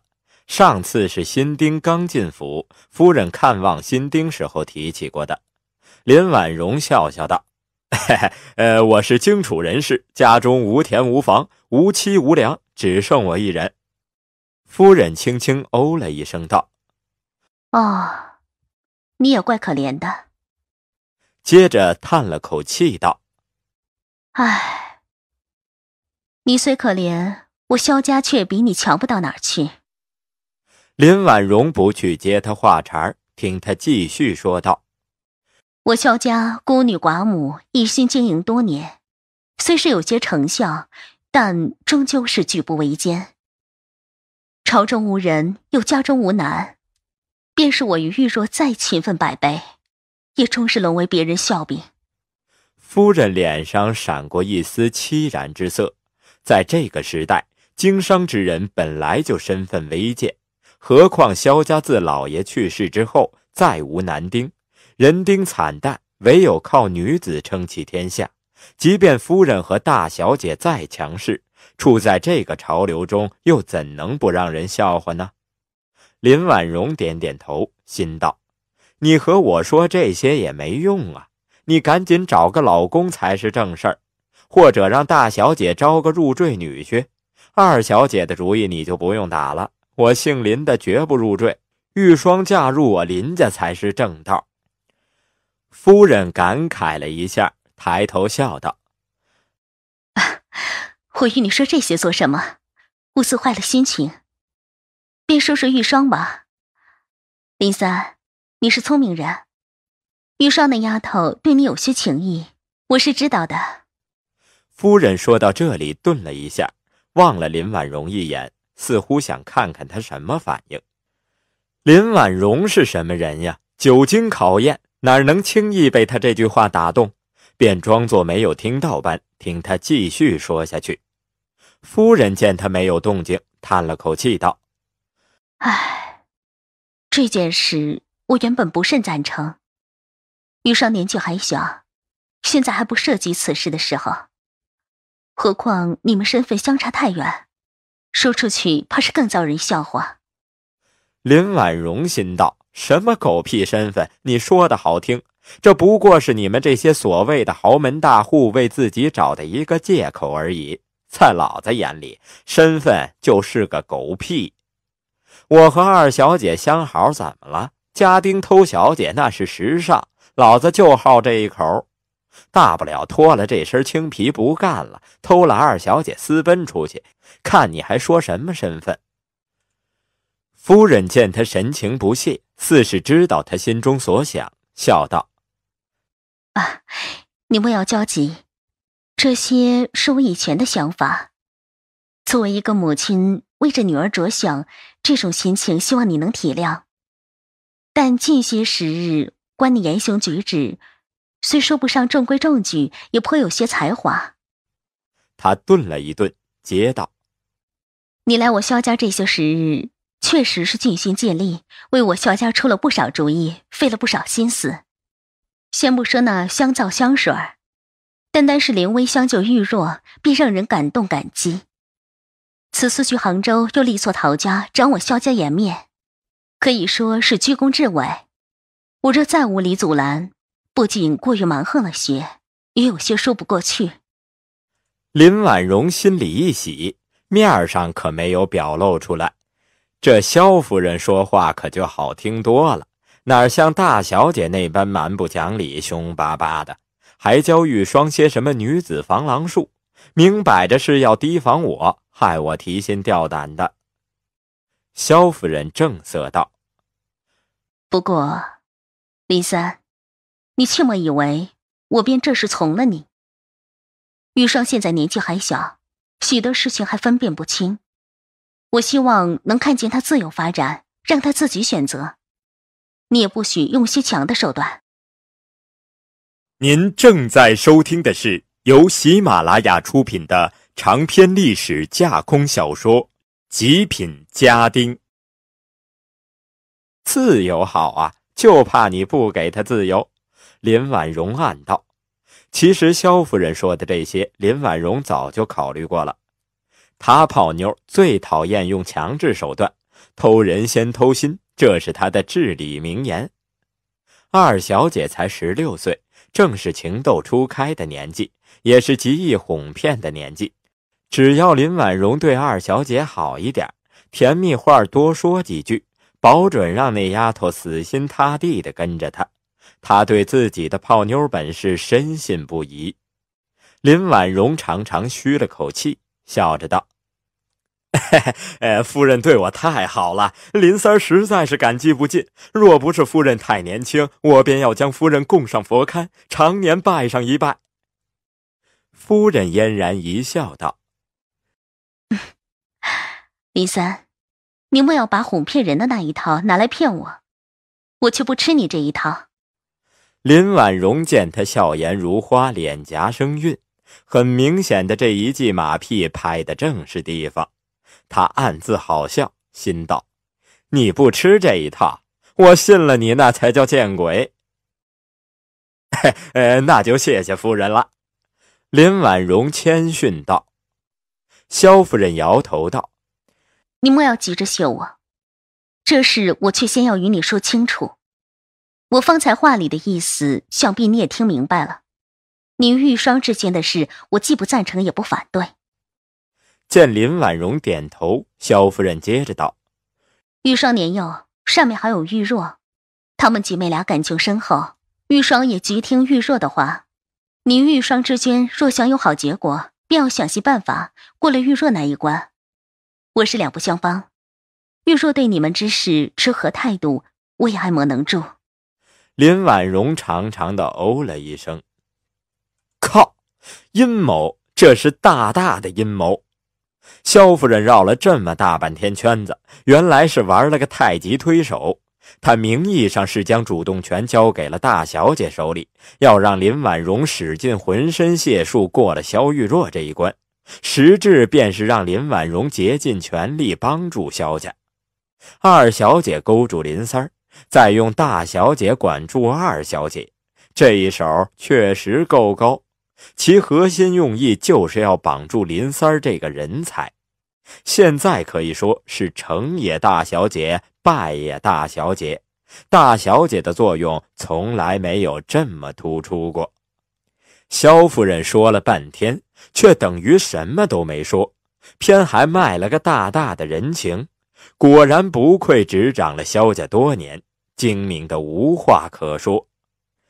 林婉容这种老油条，三两下便将事情看了个透彻，想用玉霜勾住我，嘿嘿，谁勾谁还不一定呢。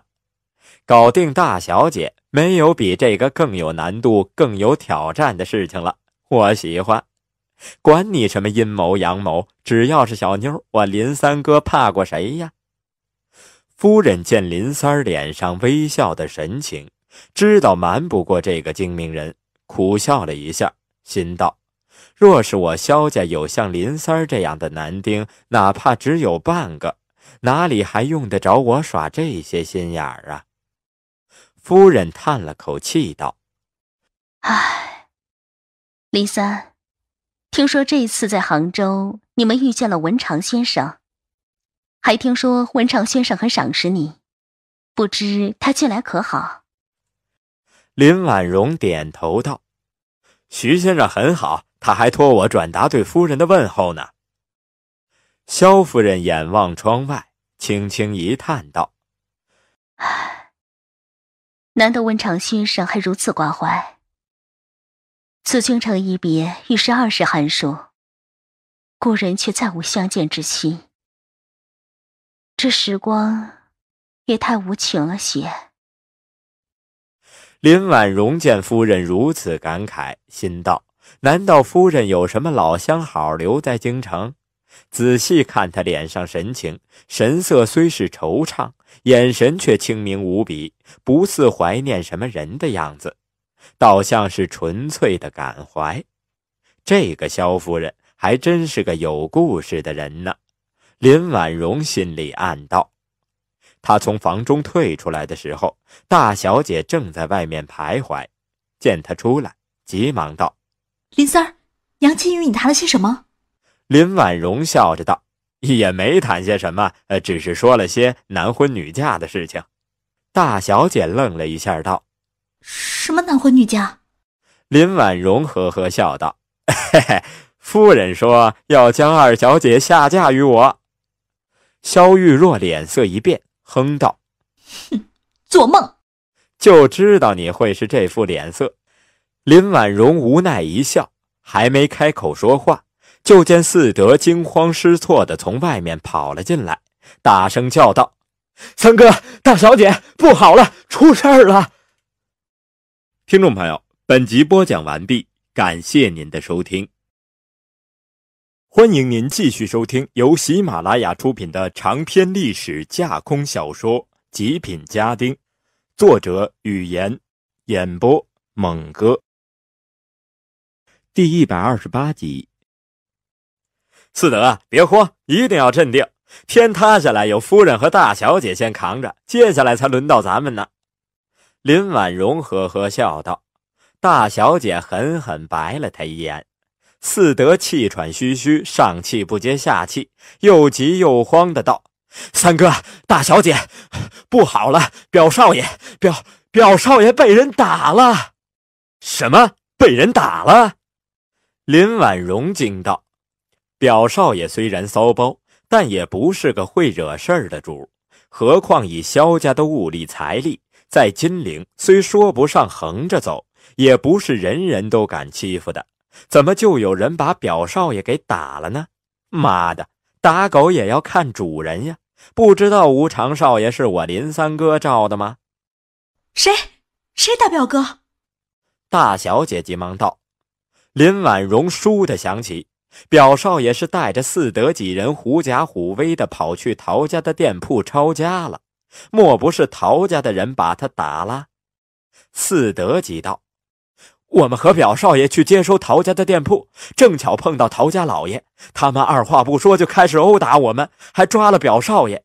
小的拼死逃了回来，就是为了向夫人和小姐报信儿。现在我就回去救少爷。救个屁呀！你小子逃跑就逃跑了，还说的冠冕堂皇，跟老子有的一比。不过这一点也算没做错，打不赢就跑，这叫机智灵活。不跑还等着挨打吗？大小姐听了他的话，焦急道：“哎呀，我们这边还在商量如何处置这事儿，表哥怎么这么莽撞就去了呢？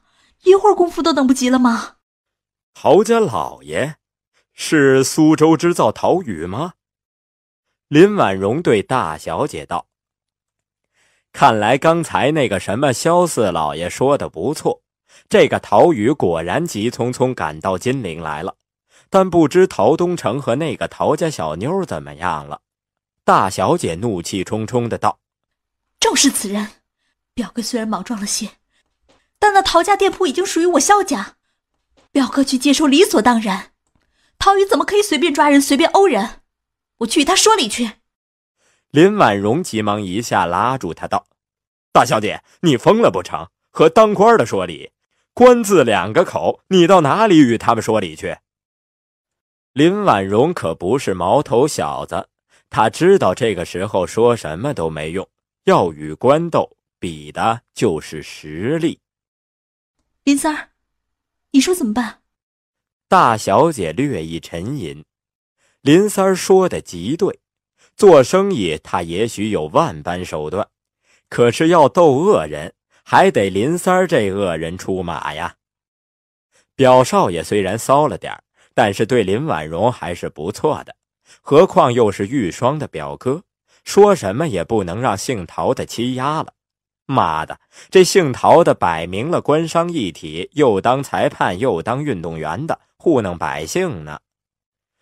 四德，你马上去总督骆大人府上，去请和我们一起回来的高俅高大哥，将这里的事情对他讲一遍，再请高大哥转告骆大人。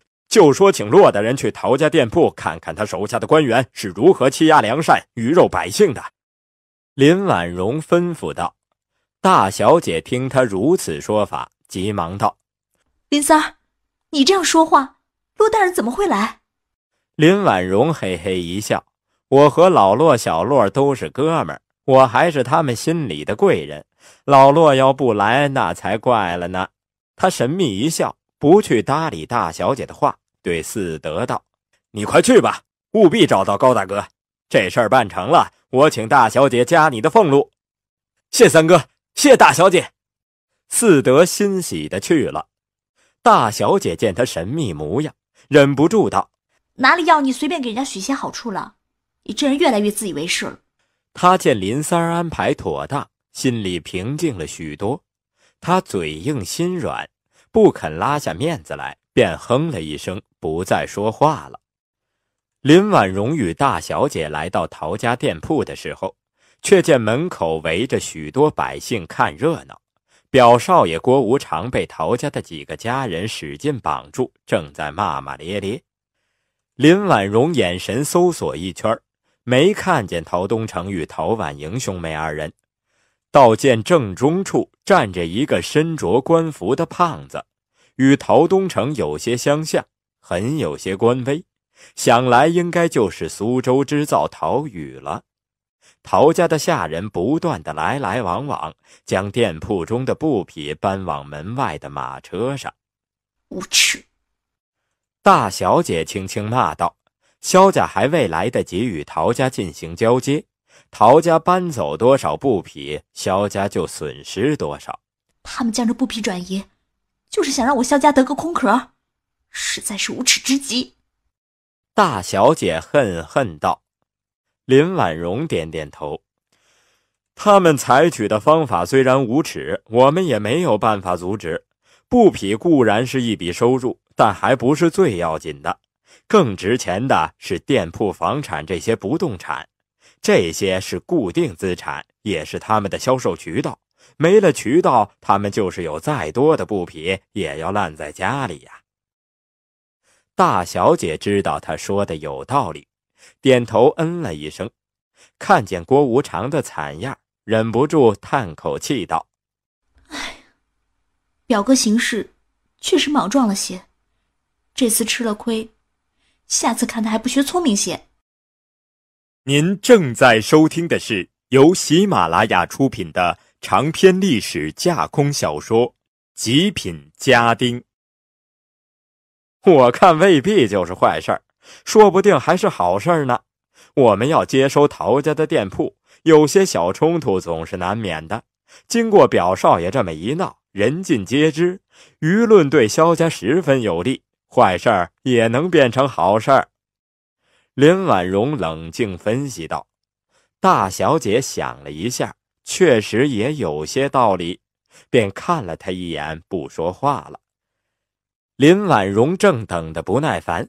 背上忽然被人拍了一下，一个爽朗的声音道：“林公子，我来了。”他回头看去，便见高手高俅兄弟二人站在自己身后微笑。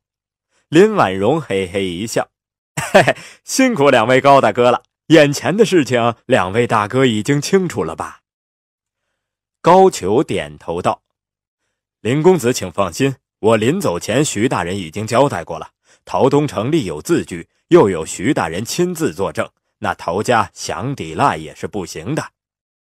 这样说来，我们的行为岂不正义之极、正当之极？林婉容笑着说，眼中闪过一丝戏谑。高家兄弟二人一起大笑。林婉容跟在大小姐后面走了出去。表少爷一见他二人出现，立即高声叫道：“表妹！”表妹，快来救我！林三儿，快来救我！大小姐走上前去，对着陶宇盈盈一礼道：“民女萧玉若见过陶大人。”陶宇嘿嘿冷笑道：“哈哈，萧大小姐好大的气派呀！竟然派了人来拿我陶家店铺，哪里还把本官放在眼里？”你这一礼，本官可当不起。日，你这个狗官，拿着手里的权力做生意，还有脸皮要人家把你放在眼里？见过无耻的，没见过你这么无耻的。林婉容望着肥肥胖胖的陶宇，心里冷笑道：“萧大小姐正色道，大人何出此言？玉若经商多年，一向克己守法，所言所行。”皆是以我大华律例办事，不知大人此言何意？陶宇冷声道：“萧大小姐，你今日派了人来，口口声声说要接管我陶家祖产，却不知道是何道理。本官贵为苏州织造，掌管一省纺织之事，事务何等繁忙，哪里能容你如此放肆？萧玉若哼道：“陶大人，我萧家接手陶家布庄的事情，在金陵商界乃是人尽皆知。大人莫非真的不知道？此次杭州、金陵两地年会之上，陶公子与我萧家立下赌约。”赌了这陶家的布匹商铺，可惜陶公子连输两局，便依照约定将陶家店铺输给了我萧家，有陶公子的文书为证，有金陵、杭州两地数百客商在场亲见，还有文学阁大学士、户部尚书徐渭大人亲自公证，此事作假不得。从陶公子立下文书那一刻起，这陶家的店铺便已属于我萧家了。我萧家按照约定来接收财产，合情合法，有何不对？大人虽是贵为杭州织造，却也无权随意抓人。我表哥并无罪责，也无过错，大人因何无故殴打、擒拿我表哥？萧玉若语气虽是温婉，话音却慷慨激昂，掷地有声。围观众人听说，这就是传说中的萧大小姐。见她不畏权贵，又生得如此风姿，便直觉地对她产生了好感。自古民不与官斗，今日萧大小姐当街据理力争，这种胆识气魄让普通百姓心里畅快。待到大小姐讲完，人群中便猛地爆出几声好来。陶宇眼珠一转，面色一整，道：“萧大小姐。”那杭州赌约之事，乃是有人故意陷害我儿东城，此事还待彻查。我已经报起了江苏都指挥使程德程大人，程大人将亲自派人查问此事，还我陶家清白。你那赌约做不得数。我日，果然不愧为当官的，脸皮厚到了这种程度。那承德是军队派系的，你是政治派系的，就算是禀明上面彻查，也应该是禀明江苏总督骆敏，干承德那老王八鸟事。再说这事儿乃是那么多人亲眼所见，你说推翻就推翻了？妈的，狗官就是狗官，沆瀣一气也能说得如此冠冕堂皇。萧大小姐听着陶宇如此颠倒黑白、混淆是非，气得俏脸通红，怒声道：“陶大人此言何意？莫非是怀疑江浙两地数百商客的眼力和智慧，亦是怀疑户部尚书徐渭徐大人的公正？那就请陶大人将令公子请出来，我萧玉若愿当着在场所有金陵父老的面，与他辩上一辩。”听众朋友。本集播讲完毕，感谢您的收听。欢迎您继续收听由喜马拉雅出品的长篇历史架空小说《极品家丁》，作者：语言，演播：猛哥。第一百二十九集。林婉容急忙拉了大小姐一把：“你这小妞气糊涂了！现在有陶东城亲自立的字据在手上。”只管接收陶家就是了，还辩论个屁呀！即便是萧家欺诈，你们姓陶的也只有认了。陶东城干了那么多坏事老子讹诈他一回，你有种咬我呀！陶宇道：“我儿东城昨日不慎染恙，现正在家中调养，待到伤好再与你对峙不迟。”调养。怕是在哪个小妞的肚皮上调养吧？林婉容想起自己的杰作，心里好笑。大小姐哼道：“哼，陶大人，我只是一介民女，你是朝廷命官，自然比我懂得更多的法律律条。”他自怀里掏出一张契约，正是当日陶东城在晴雨楼上签字画押的字据。此字据乃是陶公子在晴雨楼所立。上有陶公子签字画押，还有一品大学士徐渭大人亲笔签名，以示他亲自公证。这字据便是明证，事实俱在。陶大人莫非也要否认？大胆萧玉若，你竟敢蒙骗本官！徐大人乃是当朝贤臣，地位何等尊贵，你一介女子如何能识得徐大人？这印信怕是你伪造的吧？陶宇刁蛮的道：“大胆！”高俅走上前去，指着陶宇怒喝道：“你这小小芝麻官，竟敢怀疑徐渭大人印鉴，狗眼长到天上去了！你是何人？”陶宇见这人又高又壮，眼神犀利，急忙大叫道。高俅自腰里摸出一个金黄色令牌，在他面前晃了晃，道：“我乃宫中一品带刀护卫，奉御命保护徐渭大人。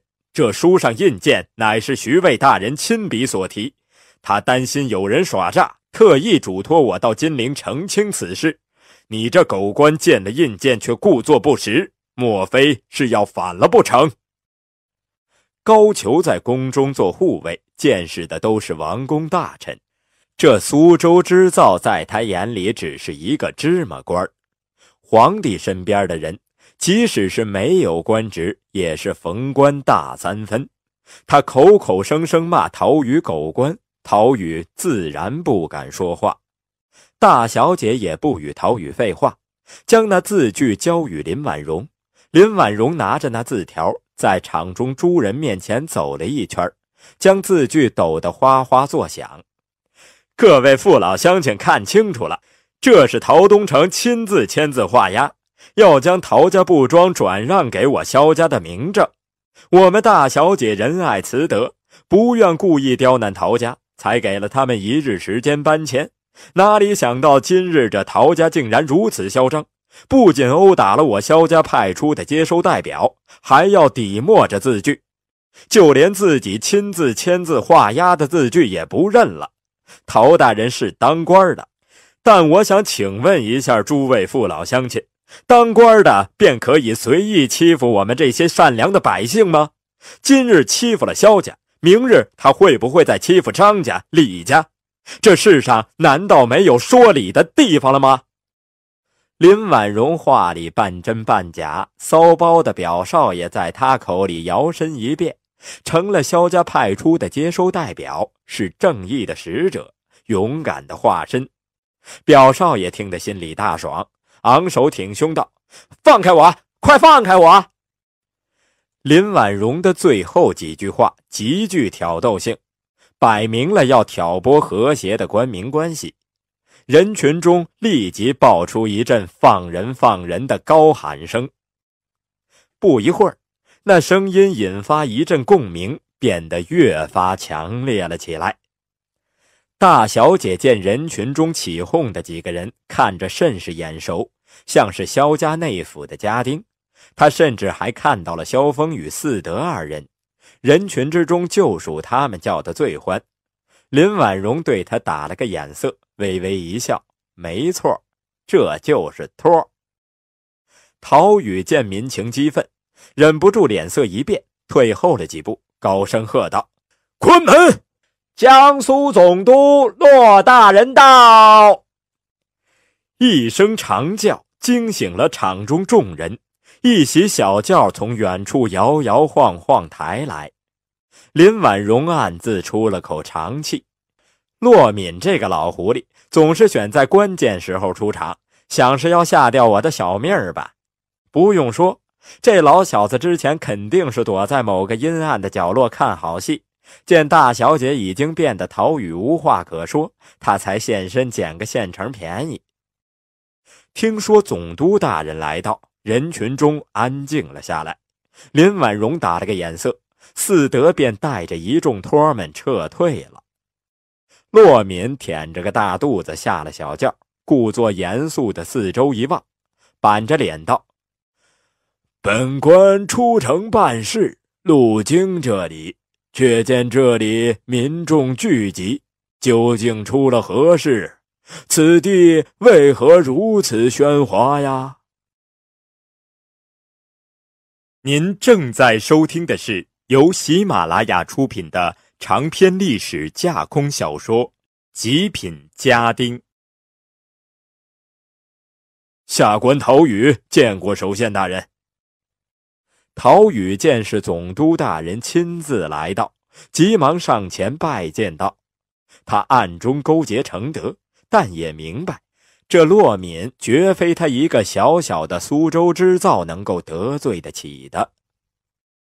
咦，陶大人，你也在此？何时从苏州返回的？为何本府没有得到消息啊？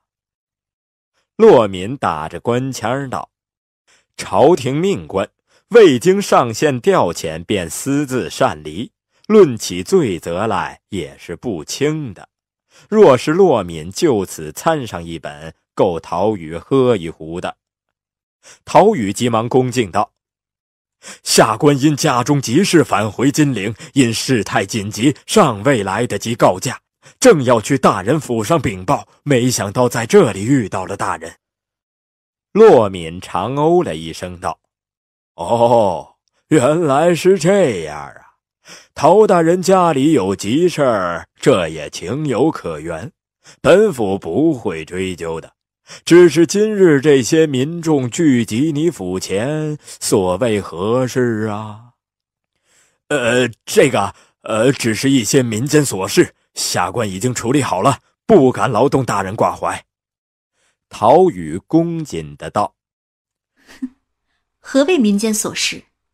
陶大人说的轻巧。”大小姐冷笑一声，缓步上前，对骆敏恭敬行礼道：“民女萧玉若见过骆大人，还请大人为我萧家做主，还我萧家一个公道。”骆敏看了一眼陶宇，道：“萧大小姐何出此言？你乃是萧阁老后人，谁敢欺负于你？怕不是中间有什么误会吧？”萧玉若将那字据双手呈上，躬声道：“此上印鉴乃是徐渭大人亲笔所题，赌约乃是徐大人亲自公证。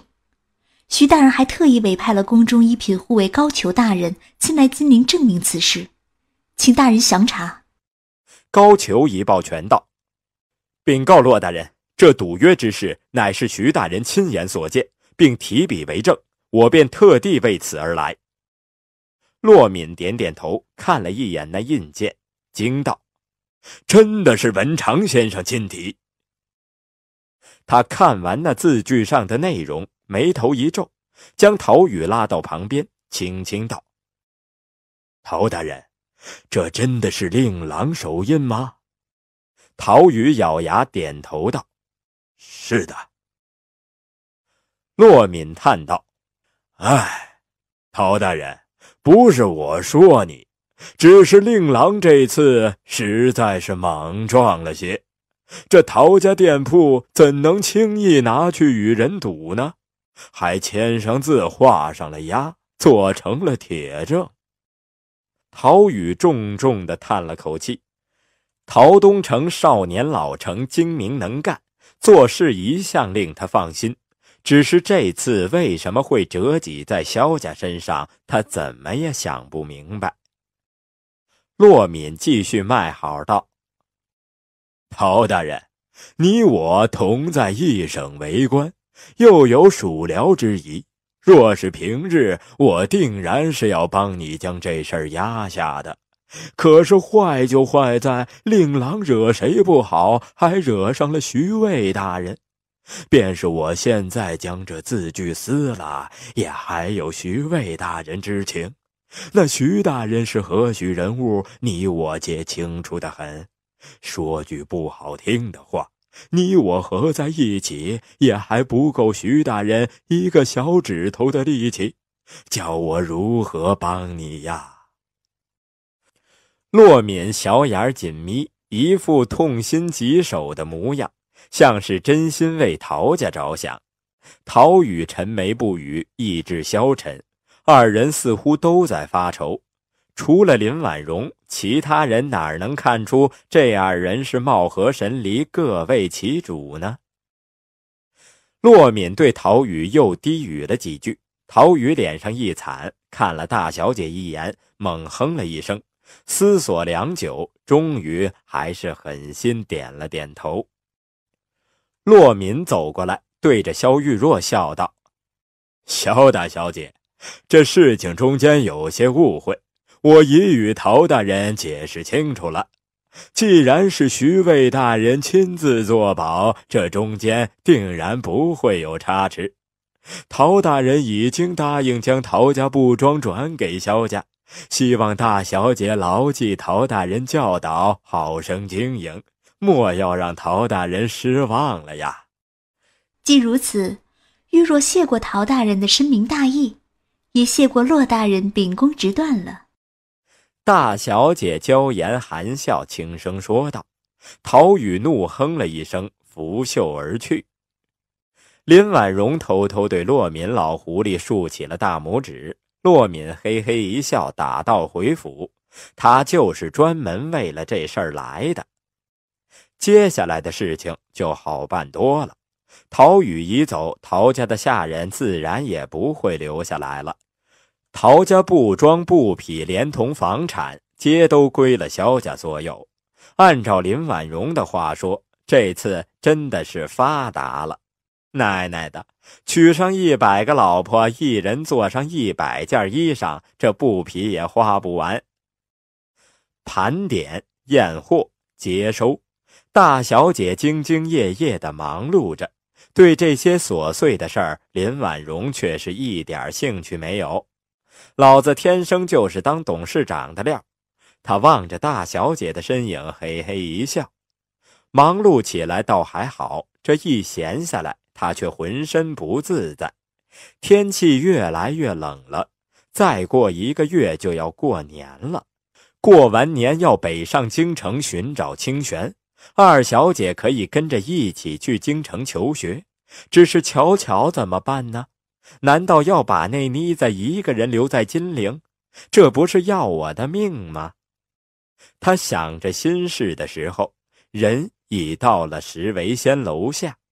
巧巧惊喜的声音从楼上传来：“ 大哥，你回来了！”听众朋友，本集播讲完毕，感谢您的收听。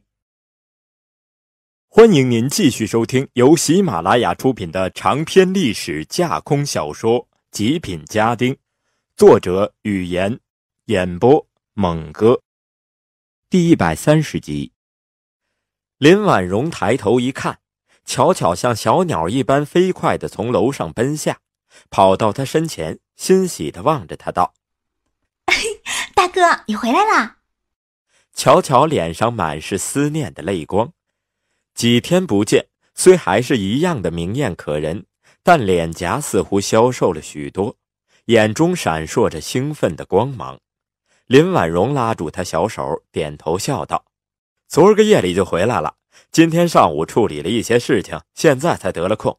小宝贝儿，这几天有没有想我呀？”他说着，还轻轻在巧巧手心里挠了几下，骚包的很。此时正值酒楼用餐高峰期，林婉容肆无忌惮地拉住巧巧的小手，调笑着。巧巧羞得脸色通红，不敢抬头见人，只是心里的甜蜜洋溢在了脸上。巧巧拉着林婉容直接上了四楼，放眼一看，却见老董、青山都在，金陵才女洛宁也正微笑望着自己。今儿人怎么都到的这么齐呀？在迎接我吗？大家太客气了。林婉容笑着说。见洛宁笑意吟吟，便道：“洛小姐，咱们可有几天不见了？这一向过得可好啊？”洛宁心道：“从你怒打侯公子算起，到从杭州返回，也不过五六天时间，用得着你这么虚假的问候吗？”他暗自好笑，点头微笑道。林大哥，我这几天过得还好，不过还是比不上你啊。林大哥在杭州的事迹，如今已经在金陵广为流传了。桥边玉石，油锅洗手，见所未见，神乎其神，怕都被人编成评书了。你去酒楼茶肆，没准还能听到呢。他掩住小嘴儿，咯咯一笑，道：“待会儿林大哥可要好好给我们讲上一讲啊。”巧巧也以崇拜的眼神看着他。林婉容心里惭愧：“哪里哪里，不过搞了点封建迷信而已，应该批判才对呀。”他哈哈一笑，道：“哈哈，好事不出门，坏事传千里，说的大概就是这个意思吧。”洛小姐关心公益，义助孤残，这些事情才应该好好宣扬啊！洛宁俏颊生韵，不好意思再说话了。林婉容看了巧巧一眼，道：“今天人这么齐，巧巧，你们是不是在商量什么事情啊？”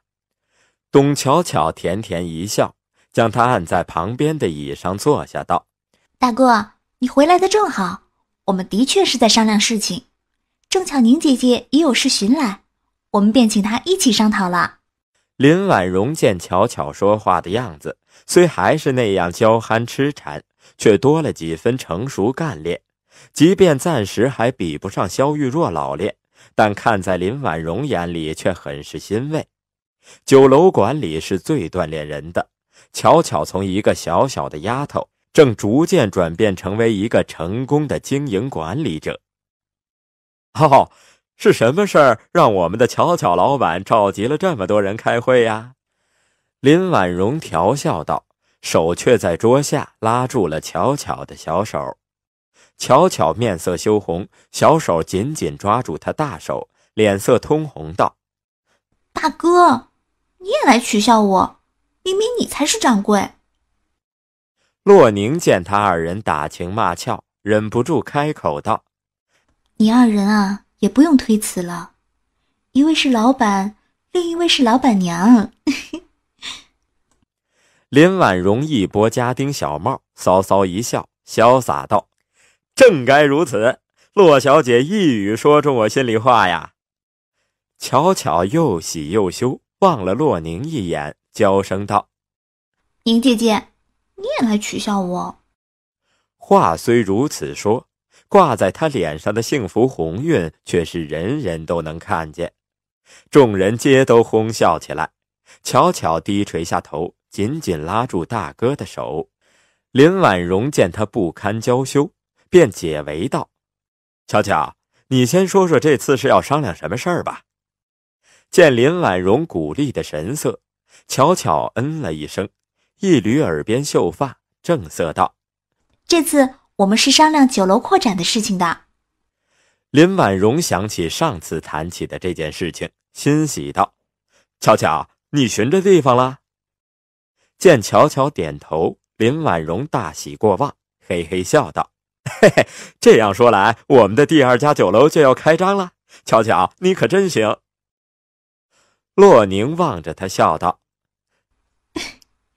林大哥，林老板，你说错了。”这不是第二家酒楼，林婉容疑惑道：“洛小姐此言何意？”洛宁捂唇轻笑：“林大哥，你怎么聪明一世却糊涂一时了呢？这些时日，巧巧拉着我不断的挑选好地方，连着选中两处。这次要开业的不是第二家，而是第二家和第三家。”是两家同开，两家同开，好兆头啊！林婉容惊喜的望着巧巧道：“这是真的吗？”巧巧，巧巧不好意思的道：“大哥，我是看中了两块地方，也谈好了价钱，就等大哥你回来决定呢。”林婉容大手一挥：“等我干什么？这酒楼是你经营的，我不插手。”一切都是我的小宝贝儿说了算。巧巧惊羞喜一起涌上脸庞，急忙偷偷看了老董一眼，见他闭目养神，似乎什么都没听到，这才放心下来。大哥太坏了，这样亲昵的话也能说出口，私下里说不好吗？越想脸上越是发烧。洛宁对林婉容的惊人之语已经见怪不怪了。见他对巧巧如此信任，他心里忍不住感叹：林大哥好才学，好见识，好手段，巧巧能有这么个夫婿，也真是值了。您正在收听的是由喜马拉雅出品的长篇历史架空小说《极品家丁》。林婉容脸皮厚，这点小意思算什么？她嘿嘿一笑，道：“嘿嘿，巧巧，说说你选的这两个地方在哪里吧？什么时候开始装修？我也来为你参谋参谋。”青山插嘴道：“大哥，姐姐可厉害了。”她选中的两个地方，一个在秦淮河边上，一个在夫子庙，都是响当当的好地处啊！合起来都要一万两千两银子呢。一万两千两银子，这可是个大手笔呀！没想到巧巧这样柔弱的丫头还有这份能耐，以前着实小看了我的小宝贝儿。只是这一万多两银子是从哪里来的呢？酒楼的经营状况，林婉容也知道。虽说是日进斗金，开业到现在大概赚了八九千两银子，但要一下买两处酒楼，也是捉襟见肘啊。巧巧明白他心里的疑惑，微笑道：“大哥，你还记得你当日买这酒楼的手法吗？”林婉容点点头：“那怎能不记得？巧取豪夺，在家贷款吗？”巧巧低声道：“我以石为仙酒楼做担保，与那两家老板商定，先付一半款项，另外一半则半年内还清，按月付利息。”原来如此，这丫头竟然现学现用，实在太可人了。林婉容心里感慨道：“她上次是巧取豪夺才拿下了这石为仙，此次巧巧借助她的经验。”只不过不用豪夺了，而是用这资产大大增值了的石为仙做抵押，成功的实施了一次资产运营和融资。这种手腕，林婉容经常玩，见的也多。房地产开发商玩的比这卑劣多了，空手套白狼可不是神话。但在这个时代，能有如此胆色和见识，实在了不起。尤其还是一个小小女子，巧巧不去做房地产，实在太可惜了。林婉容心里大大的得意，我眼光真不是盖的。巧巧这一手玩的漂亮之极，眨眼之间，老子就变成拥有三家酒店连锁的大老板了。洛宁大有深意的看了林婉容一眼，笑着说道。我当日与巧巧一起与两家老板谈判，巧巧提出这个想法的时候，那两位老板也不敢答应。好在石为先现在名头甚响，声誉极好，再加上巧巧以酒楼做抵押，还肯付高利，他们才勉强答应下来。我当时担心极了，这样不仅借了大量债务，而且每个月光利息就好几百两银子，压力极大，弄不好。连石为先都赔上了。后来巧巧说，曾经有人成功运用了这个法子，我就在想，也不知道是谁出的这个主意，竟疯狂至此。这个疯子可不就是我吗？林婉容尴尬的咳嗽了两声，道：“嗯，呃，这个啊巧巧，呃，这样一来，我们手里还有多少银子用于流动？”巧巧道。既然大哥没意见，那我便即刻与两位老板签订契约，先付六千两银子，剩下来的现银，扣除大哥答应赞助赛诗会的一千两，也就剩下三千两了。说起赛诗会，林婉容一拍脑门哎呦，难怪这洛宁找上门来，答应了赞助的银子还没给呢，现在又要新开两座酒楼，再加上赞助赛诗会。这几件好事聚在一起，那是打广告的大好机会呀！说什么这一千两银子也要出了，妈的，做了大老板还是这么穷！幸亏还有萧家的香水和香皂的提成，不然的话，老子这老板也做得太窝囊了。林婉容掐指一算，赛事会安排在月底，还有二十余天功夫。这两家酒楼要是抓紧装修，应该能赶在赛事会之前开业。妈的，这些狗屁才子花老子一千两银子，老子要打广告，往死里打广告，花出去的银子要从你们身上十倍百倍的赚回来。